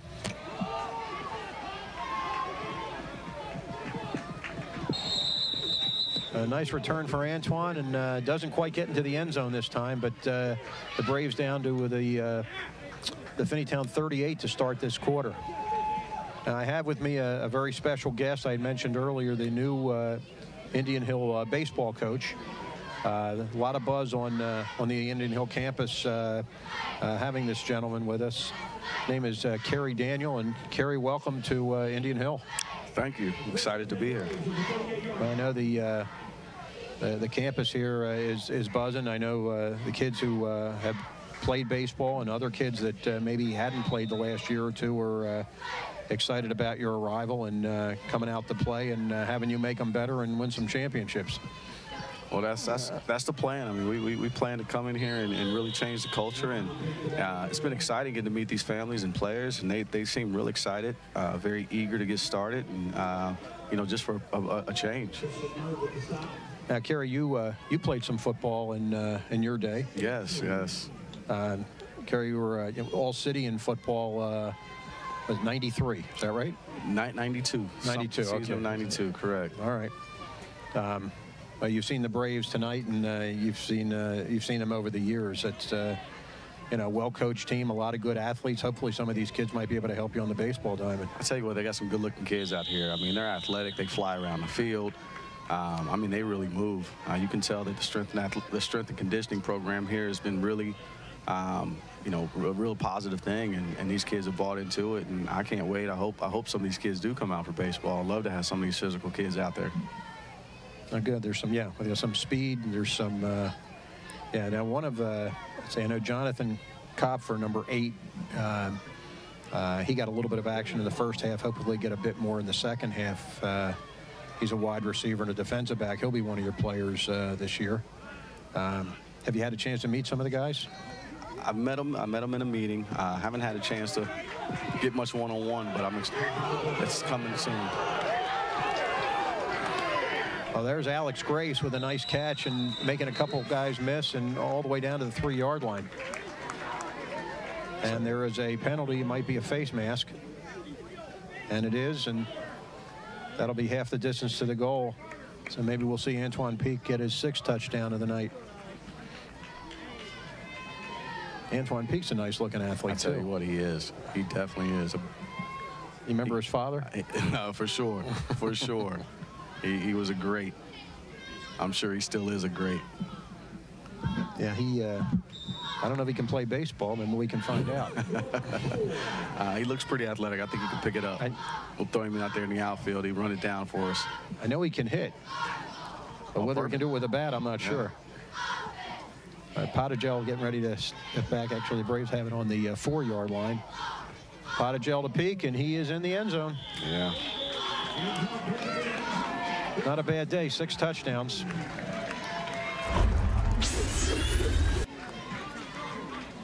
And Alex Grace now will. Was Alex going to kick the extra point, or we? Uh... Yes, Alex will be kicking the extra point. Now I do know Alex Grace. He played football for me a couple years back over at St. James, and he's a heck of an athlete. Does he play baseball? You know, we're gonna we're gonna test the waters there. We're gonna see if that. If, I'm not sure, but we'll definitely ask that question. We'll see how good a salesman you are.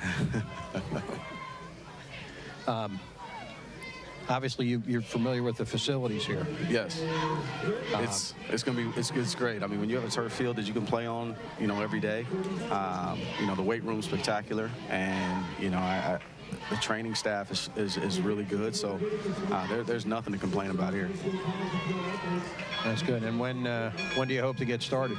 Um, we're looking at getting started sometime next week with some just doing some open fields, just get kids out, let them get you know, so we can see how some kids play and and how they move and. Uh, start preparing for, for the winter winter time where we'll hit hard uh, come sometime around November December uh, we'll really start getting some some work in. And you know when February comes around for tryouts I mean these guys should, should be in, in, in good shape except our basketball players. I mean they'll, they'll obviously be doing basketball but you know from from the looks of it not many of the guys play basketball. They're going to be they're going to be hitting it hard for baseball this winter, um, and they all express a, a huge interest in, in getting started sooner than later. Uh, um, you have a couple boys at home, um, and uh, I know the, the hope and prayer is that uh, one or more of them might be playing uh, uh, in the uh, the red and black someday.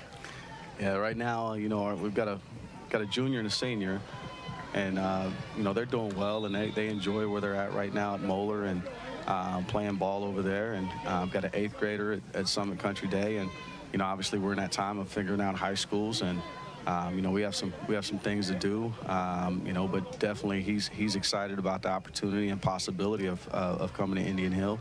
Um, and and that, that would be great to, to, you know, that was a huge reason for taking this job is have the opportunity for him to come to a great school. And, you know, not that he's not at a great school right now, but somewhere where he can go play baseball and I can coach him. And we're, we're both kind of in a win situation. Well, that's great. So it's, it's kind of a twofer. Right? Twofer. That's, that's, the, that's the goal. Well, that's great. And, and everybody's very excited about, you know, you obviously have a tremendous track record. Um, you know, you were the head coach at Wyoming for several years and did a heck of a job with them. And uh, you coached at Seven Hills. And uh, you know, obviously your your summer teams have been exemplary, um, and uh, hopefully you'll have that. Uh, be able to put that tonic on uh, on the Braves here too, and uh, help lift them to to some championships, uh, not only in the CHL, but uh, hopefully go a long way in the uh, high school tournament. Well, I, appreciate it. You know, it's it's been it's been you know, it's been some hard work, but more than anything, I mean, we, we don't come in and change the program, change things around if, if the kids don't buy in. And I was fortunate at Wyoming and Seven Hills and every place I've been to, to really have kids just buy into the program and uh, what we teach. And, you know, these, these guys, I don't expect anything different. And, you know, with, with that being said, I, I can't say that that uh, we're looking for anything negative. I mean, we're, gonna, we're gonna have some we're gonna have some positive outcomes out here, and uh, you know, see some results sooner than later. And uh, Kerry, let me ask you real quick: uh, who uh, in the American League and National League, uh, who you rooting for? Oh man, that's a tough one. Uh, you know, it's it's it's the game of baseball. I mean, every day things. You know, you just never know who you're going to get day in and day out. You know, anybody can beat anybody. So, uh, man, I, I'm. I'm gonna have to. I'm gonna have to. I'm gonna have to refrain from that one because I don't. I can't have that held against me later on. Like, oh man, um, you know. I just. I just love to see. I love to see all these teams compete and how they really turn it on in the playoffs. And um, you know, I'm, I'm, a big, I'm a big component of the Reds, and obviously they're not playing anymore. So, you know, I, am going with, I'm going with, with anyone, anyone that that that represents what they represent. Uh, Brian roots for the Pirates, so uh, Yeah. you're, you're way ahead of him. Yeah. The Pirates, that, that's your team.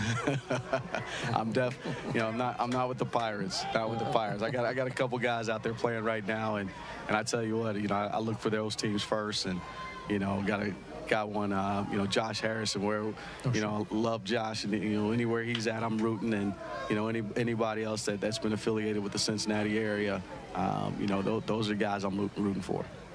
Oh, that's great. Well, Kerry, we're uh, we're excited. We're uh, hoping that uh, Coach Dupps uh, wants to uh, to televise a couple uh, baseball games this year too, uh, and.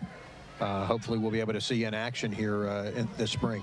Uh, just a second, uh, Coach Shaw wants to say something. Hey, so we don't often get baseball opportunities here. The greatest game in the world. for sure. Coach Daniel, just two questions. Uh, first one, just thinking in terms of if coaches a lot of times think about other coaches' perspective and they value it. If you have coaches watching your teams play, what is it that you want those coaches to take away that they say that's a Kerry Daniel team? That, that's a great question. You know, I, I think, you know, the, the one thing that, that's pr- probably as consistent as possible that I, that I, I like my guys to be is, is, is really focus on the little things. I mean, our guys, we, we go about things. We have routines, and, and I want. You know, we get complimented a lot on our, our guys, their routines, pregame routines, you know, in between innings and everything we do. You know, I tell our guys, everything we do has a purpose, and we're not taking anything for granted. So if we're just tossing, you know, catching the ball. We're, we're working on receiving the right way. When we're throwing it, we're working on throwing the right way. You know, we're hitting we're hitting in the cages. Uh, you know, we have certain things we're working on in the cages. So we, I want, I, I believe the one thing I want guys to walk away with is that, man, I mean, everything they do, they seem to be extremely focused on, and it's not just lollygag and just kind of going through the motions. Right, right. Yeah, that's uh, that, that's great. I, I don't think you can love something unless you really know it and understand it. Right. And you know, one of the things I think kids always struggle with, so many people go fast and do things a hundred times bad instead of ten times right. And then the kids don't understand the context of why am why am I being asked to do this, you know, and that kind of stuff. But once they once they understand it, I think they got a better chance to love it, and then it just kind of feeds on itself. 100%. Robbie Orr with the take all the way to the house. That was a great run. I'll tell you what, that's a young man that uh, has been out of the box as a freshman, able to compete. And uh, now that he's got a couple years on him. We got another one left here, and uh, look forward to big things from him next year. He saw a great cutback line and did, did the right thing. So that's, that's And coach, you know what you, you got to love too is he trusted himself. You know, he, he trusted his speed and he just went right through it. Um, the the last thing I had for you, coach, and this is something that's important to me.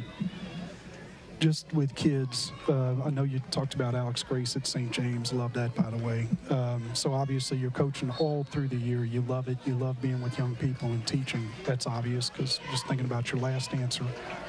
As you look forward 10, 15 years from now and kids come back to see you as the coach and that relationship means so much. Just thinking in terms of what you want those kids to be thinking, what did Coach Daniel give me that endured, that went past my days as a player? Right. No, I, I, it's it's definitely one of those things. I want these guys when I when I do run into them. What's crazy is I'm I'm, I'm in here for five minutes and somebody calls my name and some kid calls me over and say, "Hey, do you remember me?" I said, gave him that look like, "Hey, you got to be a little better than that." you know, uh, and, and, turns out this kid played for me. He told me his name. I'm like, oh, man, yeah. the kid's 26 years old now. He played yeah. for me at 12 years old right. for one year, and it's hard, man. Um, that's that's that's awesome to me. You know, the yeah. fact that the, the, the only thing I can ask for is if if regardless of what I did for you, you know, I, I don't need you to tell me exactly how, how things made you made you better, how it made you feel. I mean, I love to hear it. Right. But the fact that you took the time to come and speak to me yeah. means that there was some type of positive relationship you know, right. during that time and and not that negative thing where you feel like, hey, I can't, I don't want to go talk to Coach Daniel. He, that, that, was a bad time in my life. Right. Uh, so you know, just just the opportunity to, to see these guys and, and, and, and, catch up with them and see how they're living now. It, that that's that's special to me and to to know that I had a part. They allowed me to have a part in their life um, and be a part of their life more than more than them allowing you know me allowing them. I mean, they they, they affect my life just like my kids. So right. uh, just be able to spend that time. So I, I appreciate that. Coach, I could see your energy level just picking up talking about those things, which uh, means your your mind, your heart's in the right place. Yeah. And uh, really appreciate you being here. Welcome to the program. Well, I thank and, thank you guys for sharing sharing yeah. this space with me. I know these guys are out here working hard out there, and then some people want to hear hear about this game, but I, I appreciate the time. Tell them to throw it back to you. All right. Well, we thank Coach Daniel for uh, for being our guest here in the third quarter, and. Uh, looking forward to having him uh, be our guest maybe during a basketball game and, and certainly after a baseball victory this year. Well, we'll be out there. Thanks a lot, Tony. All right, Coach. Well, the Braves uh, did make a change at quarterback, and uh, Alex Grace uh, has taken over the reins. And uh, his first drive, the Braves score a touchdown on a, uh, a Robbie Orr run. And as you could see, the Braves did a Alex did an interesting uh, kick. He uh, he kicked it real hard, trying to hit it up the middle. It went off a Finneytown uh, player and came right back, and the Braves recovered. So um, Braves are up 56 to nothing. Again, a running clock. Uh, just two minutes left here in the third quarter, and Alex Grace with a keeper. Ooh, nice tackle. Um, and Alex gets up okay. So it's uh, and there's Coach Daniel right there. Uh, there he is. And we're, we're really uh, happy and grateful that uh, Silver we have Knight. him on the yeah on in the program, and uh, he's going to be a great leader.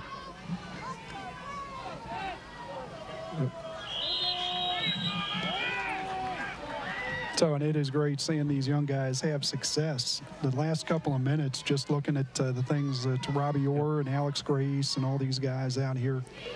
Uh, this is this is the future. It'll be here before you know it. So next year, a lot of these guys are going to have huge roles for this team um, outside of what they're doing now, and it's big now. But Robbie won't just be a defensive back, and Alex won't just be a kicker. Uh, this this will and a defensive back. This will open up quite a bit for these guys. Alex Grace, nice pass. Charlie Rogers. Rogers. Yeah. yeah. And he goes out of bounds, but it doesn't matter. The clock keeps ticking.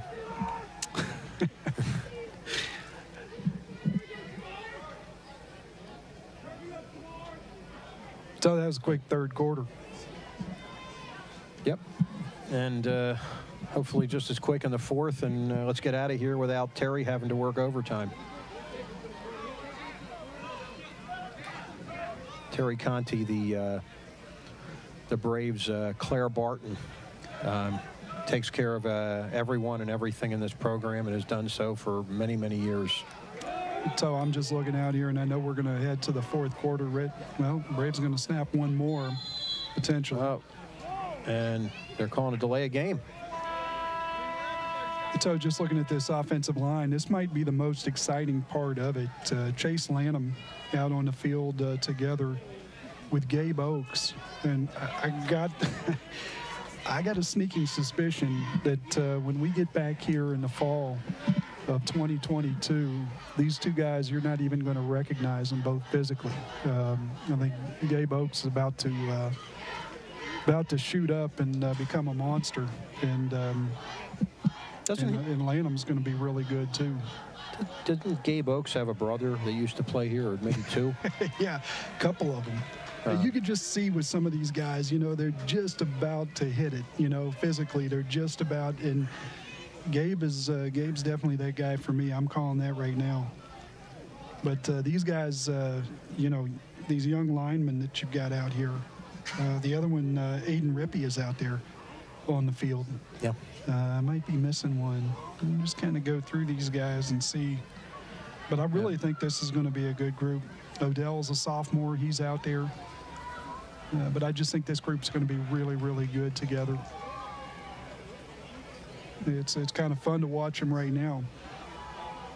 Well, again, the, these guys are serious. This is uh, they've been practicing all year, and and um, they haven't had a lot of uh, opportunity to get uh, some varsity action, and uh, and this is it. This is their report card, and uh, Yep. they they they're not just running out the clock. Freshwater in the back with uh, Alex Grace, looking for C.J. Hayden. Beautiful pass. Uh, CJ had to come back for it. He was nobody within five yards of him, but uh, Good route right there. Got to yep. the sticks. First down. uh, the Braves have a first down now uh, on the 24-yard line of, of Finneytown. And uh, some wholesale substitutions. So it may seem like a little thing, but a really big thing for Hayden to uh, to know where he is on the field and be able to run that route. That was just about perfect. Sat down too. Obviously, if he's uh, if he's leaning too much one way, he doesn't come back and make the adjustment to that ball. For a guy his height, that's a really really good possession reception right there. We've got a new quarterback, Noah Yeah. Frazier. And Frazier, the resident Fran Tarkenton lookalike. Uh, you know, you watch some of these JV games. I have a chance to go and see him, and uh, Noah's just, you know, it's kind of like Dortson. We talked about him at, at uh, Mariemont, how comfortable he is going back and giving up a little bit of ground and making plays. And Frazier's another one. In addition, uh, point guard on the basketball program for that uh, that 10th grade group and a guy with just a tremendous, one of the all-time funniest players you'll ever be around. Great personality, great sense of humor. there goes Frazier rolling out to the right. Throws it up. And there's Trey Carter. Uh, Trey's already made some great plays on defense today, and he comes up with a nice reception and uh, nine yards. I don't know what it is about this sophomore class. I mean, we saw Johnny Pottigill do it earlier, and now Noah Frazier throwing on the run. Get these guys out of the pocket, and uh, they're deadly.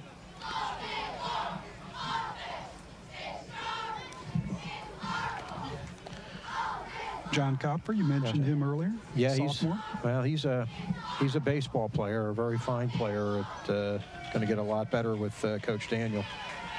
Oh, handoff, and I do not believe he got the first down.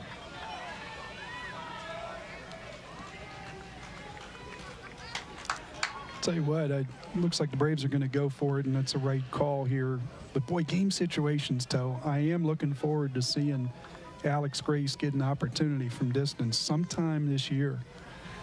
Because again, you never know. You know, you get into the playoffs. I mean, right now the Braves are an 11 seed, 16 teams in Region Four, or I'm sorry, Region 16, uh, make the playoffs. And right now, I mean, as you look at the schedule over the next few weeks, Noah Frazier gets hit, and down goes Frazier. But, uh, but he gets the first down, and uh, the Braves will have it first and goal just inside the 10. As you look toward the future, though, really would be good to get uh, get a sense of that kicking game from distance. And Grace has been so good with the extra points, and until we've talked about it before, just booming them through. Be a good chance to to see him, you know, from 35, 40 yards, see what we got if we need it. Well, they place it just outside the 10, so the Braves can get a first down. And without Antoine Peak in the game, they might need one.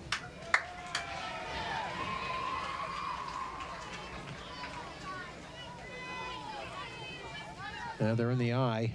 The up man. Yep. Love it. The fullback getting the carry.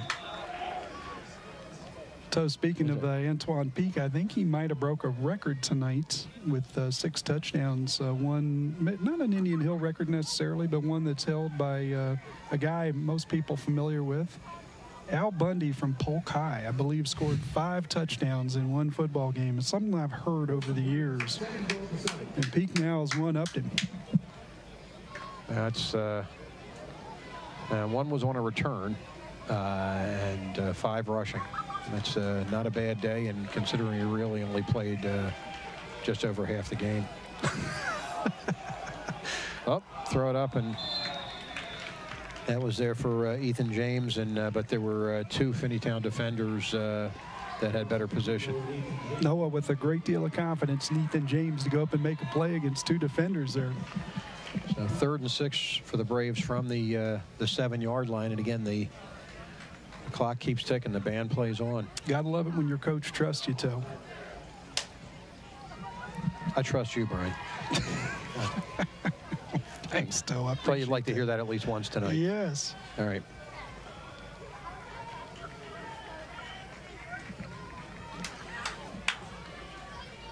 Frazier's going to run. And he can't get. Oh, he cuts Oh, back. Boy, did he cut back. And he goes in. Yes, sir. Wow, he was running out of real estate when he was going wide, made a beautiful cut in, and uh, goes into the end zone. Uh, again, vertical. Love it. Love it. I'm looking down in the crowd, see if I can see Kevin Frazier, and I just spotted him. Frazier clan here. Very excited. What a night, Toe. Oh, what a night. Get a reference that's like less than 40 years old. The Braves going for two. Our, our, our group, our demographic skews really young, Toe. It's a really hip delayed- broadcast. Uh, delayed handoff, and the Braves do not get there. And uh, So, um, got a minute here. Just wanted to congratulate uh, the boys golf team on a great year. You know, over the course of the summer, um, Peter Shakely is going out and working on his game every day, and he's got a kid from Madeira and a kid from Mariemont that he's thinking about. Who's getting better? Who's you know, who's going to be able to take that title in the CHL? Peter Shakely finishes with the lowest average score in the CHL, number one. Wyatt Higgins was number four and Alex Holzapfel was number nine. So the, the Braves with three top 10 finishers in the league. And on the girls' side, it was even um, even more. They had five in the top 10. Um, and I'm sorry we're in a dark booth here. I got this written down. Piper Iskrig, Mary Kahn, oh, thank you. Avery Vowles, Sophie Chabris, and Stella Core. All five um, were top five. Uh, in tow, I know this is going to come as a shock as there's a long, uh, long kick through the end zone, and uh, it's the first time they kicked long today. it is. Uh, this will be a shock to you. The girls' tennis team won the CHL again this year. Wow. It's been that way since the end of 1996-97. That's It's quite a run. There's domination, there's Ming Dynasty, there's whatever. And then there's uh, the Indian Hill girls tennis team. And in the singles, Brooke Arrington, Caroline Brown, Hannah Pollock, uh, all three led the way for the, uh, the Lady Braves. And then in the doubles, Lexi Larson, Elsa Zhu, Casey Larson, Sarika Singh, uh, those uh, those four uh, held it down with uh, with regard to doubles. Boys cross country, R.J. Poffenberger, uh, third in the league. Jonah Waltz, fourth. Liam Morris, fifth. So they had top 10 times in the CHL this year. And uh, on the girls' side, Elizabeth Whaley and Hayden Withers had the top two tens in the CHL this year. And just wanted to uh, to recognize them for a great job. Made the school proud, every one of them. Uh, we've got a lot of uh, players who don't normally get the opportunity uh, in right now. Oh.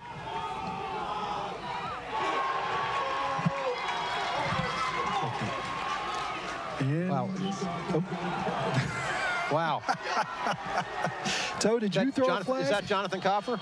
Uh, it is. I was number eight, Jonathan Copper, getting it all the way back. Wow, here's a replay. Jonathan, Jonathan jumps it and uh, right down the left sideline and number of flags being thrown there, Toe. I was wondering if you threw one of those out there. yeah, a lot of laundry. Yeah. Sort That's this a out. Could take a half hour or so. I'd be ashamed to take that away from Jonathan. He's worked really, really hard. You know, we have two uh, gentlemen up here in the booth that uh, would love to be down there on the field. yeah, yeah, this Uh, would be in the night. Number 15, uh, Penn Picton, and uh, number 24, James LaBarbera. Both uh, very valuable players on the junior varsity that been chomping at the bit to try to get some opportunity tonight. Unfortunately, both are hurt, and uh, they're stuck up here with us. Well, Ryan Sycam still in the game for Finneytown, and um, I think thought he might have an opportunity with the substitutions to get the ball down the field, and uh, ends up throwing a pick. Uh, they're calling holding on the Braves. Um, but it, uh, it is an interception for uh, Jonathan Kopfer, and uh, the Braves will, what will the line of scrimmage be? About the 19.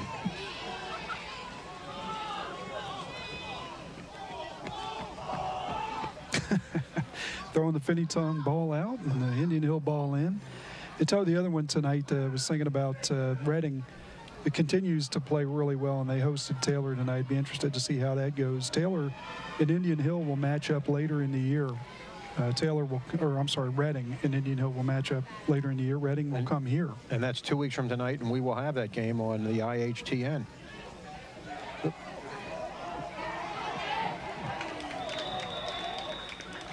So really one of the extraordinary things that has happened this year, just thinking of um, uh, the quarterback, Joel uh, has uh, really lit it up. This is a guy that's uh, thrown 13 touchdowns and has not yet been picked off. So uh, Reading uh, putting the ball up in the air, but uh, taking care of it at the same time. Uh, just thinking about other things going on in the league. C.J. Hester, we talked about the fact that he's run the ball more than two times the uh, more than the, the next guy in the CHL as far as attempts. And, um, you know, clear front runner for player of the year given Wyoming and, and where they are in the league. But I'll tell you, Toe, there's a guy at Deer Park, and here's a pass in again for Ethan James, and he, And he got gets it. Ethan James with a touchdown for the varsity. Beautiful. Great adjustment to the ball by James. Uh, that ball underthrown a little bit. Two uh, two guys out there on him. And Ethan able to come back and get the ball. And how about Noah Frazier? Got one running and one throwing. Beautiful. And I, I you know, I, I uh, Chance, uh, Chase Freshwater uh, was wearing number 19. Uh, we didn't have that marked properly on our uh, rosters, but uh, he carried the ball in that right end uh, sweep and uh, and gained several yards. He's had a couple carries and doing a really, really nice job for the Braves as well. And the Braves are going to go for two to. Going to the up back again, Toe? Yes, Yeah, they and are. he will not make it. Well, Um, these young guys having time of their life right now. That's, Friday night, Toe. Fitzwater, Doesn't yeah. get better than that. well, Yeah, let's take a look at that uh, fine adjustment to the ball by Ethan James. You see him with double coverage out here, and uh, again, Frazier with confidence throwing that ball out, and Ethan coming back and making the adjustment. really in double coverage. Uh, just talking about player of the year, and obviously C.J. Hester uh, has to be the front runner, not only you know his productivity, but also his team and what they've done. But there's a, a story, and, and the Braves are going to go next week, I think, out to Deer Park, right? Correct. And Nori Johnson, if you get a chance to go out to Deer Park and watch this guy, uh, let me throw some things at you here, Toe. I, I know this is a CHL, but it doesn't really matter what level you're playing. This kid's averaging over 10 yards a carry. He's averaging over 26 yards a catch. He's made 88 tackles that leads the CHL. He's got a couple of interceptions, a forced fumble, fumble recovery. There's another deep kick, and boy, Grace got all that one. These young Braves going to have to cover. Uh-oh. Uh-oh, boy. And there goes a shutout. And maybe that's why we weren't uh, kicking deep uh, the first 10 times? Well, combination. I mean, you know, you got uh, a lot of young guys in, the, in there for the Braves, and you know, Finneytown with a, a thin squad to begin with. The guys they brought are the guys that are playing, you know, the whole game. So, uh, opportunity there for Finneytown. You got to love that. Just for the Wildcats to get on the board and end this thing on a positive note. But oh, uh, six rushing touchdowns. Just thinking about Nori Johnson. Six rushing touchdowns, four receiving. He's had two of them that are um, kick returns for touchdowns. And I was watching some film of, of them playing against Wyoming, and he is on the edge. And uh, backs have got it; they're just getting lit up. He, I mean, tell when he tackles, he tackles. I mean, this kid hits. And I'm, I'm looking at him, just kind of laughing because he's coming in unblocked. And I know the backs are probably like, Coach Hancock, can we get somebody to just chip this guy? Uh, but he's been offered by Toledo, Buffalo, Duquesne, Bowling Green, Western Michigan, and Creighton. A four-year player at Deer Park. And um, so you guess where he's from? Um, well, uh, the football program, they, they have Deer Park players, right? He's from Deer Park, yeah. Wow. He- He's tremendous. I mean, he he really is. And if you get a chance to go out and see him, for the Braves fans, they're going to be out at uh, Deer Park next week. Uh, make sure you pay attention. Number four. I mean, you can't miss him, obviously, given all that he does. But uh, from the start, keep your eyes out for number four. Should be a good show, regardless of if his team is outmanned or however the game goes. Uh, he will do some things that you won't believe. And we're going to see the uh, the run back here for uh, for Finneytown that uh, uh, put them on the scoreboard. Yeah, Grace got all that, got it to the goal line. And then just you got a lot of young players that, um, you know, probably haven't been out there on kick uh, coverage together. So, you know, a lot going on there and then a great individual effort. And so that was number 27. is that right? Right here it's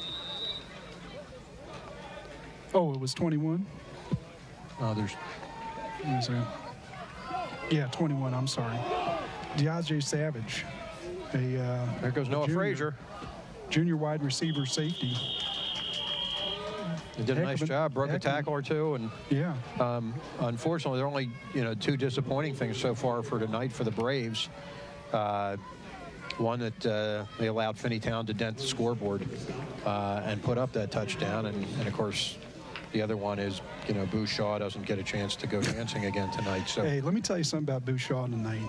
Her baby boy is uh, flying in from Philadelphia, and she's driving back right now from the airport with him in the car. So, for all the moms out there, they so know sh- she is dancing. when uh, she's dancing, you know, her heart's dancing. When you're uh, when your kids are in your house and you know where they are, and you get a chance to feed them and just hang out with them, nothing better than that. Well, with uh, just over a buck 40 left here in the uh, in the game and a running clock, uh, the Braves are going to uh, looks like be in victory formation and uh, not try to push it any longer. So in the last 61 games, just thinking about this score with 68 on the board, it's not the only time the Braves have scored 60 or more 14 times in uh, the last 61 games. So it's not unheard of.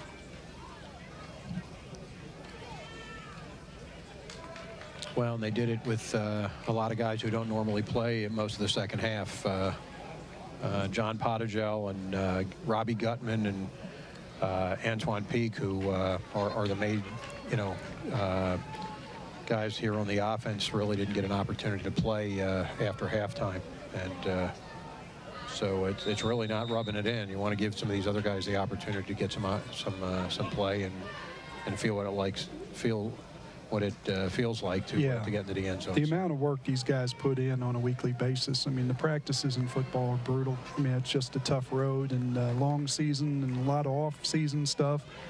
Got to go lift all the time, put that armor on to keep you safe and healthy. And uh, all these guys that are out here deserve a chance to make a play, and they did it tonight, Toe. And for the Braves, really good night in a sense. They get to 500.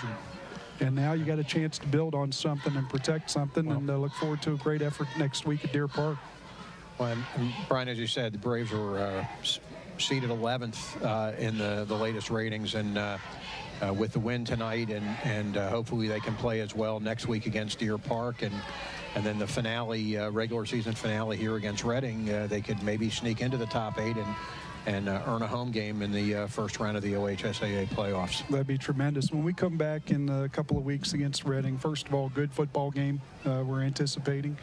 Uh, second, uh, the playoff picture will be closer, and uh, see if Joe Edel's figured out Clinton Massie yet. I think he, uh, I think he's sleeping on uh, Clinton Massie a little bit. Well, um, thanks so much for joining us. We uh, obviously this uh, doesn't happen without uh, Denny Dupps and Steve Overberg, uh, who who make all this happen. Just a phenomenal job. They're Hall of Famers. Their entire staff here that uh, that, that make everything go. Uh, uh, if you enjoy this uh, broadcast, um, and some of you might, um, then uh, it, it really Denny and Steve uh, and and all the guys that work for them and that they teach are deserve an incredible amount of credit. This is amazing for a high school production to be able to put this on. And you can hear the bell in the background, the victory bell that the Braves ring uh, after uh, after each victory, and uh, been fortunate enough to. Uh, to have four in a row now and uh, hopefully make it five next week and then be a nice one to ring against Reading two weeks from tonight right here in, at Tomahawk Stadium. Toe, thanks. Uh, enjoyed it, and uh, thanks for putting together that uh, interview with Coach Daniel. Um, wish everybody well, and we'll see you back in two weeks with the Braves for a chance for a six and four season. Terrific. Uh, again, thanks again for joining us, everybody. Uh, good night and uh, good football.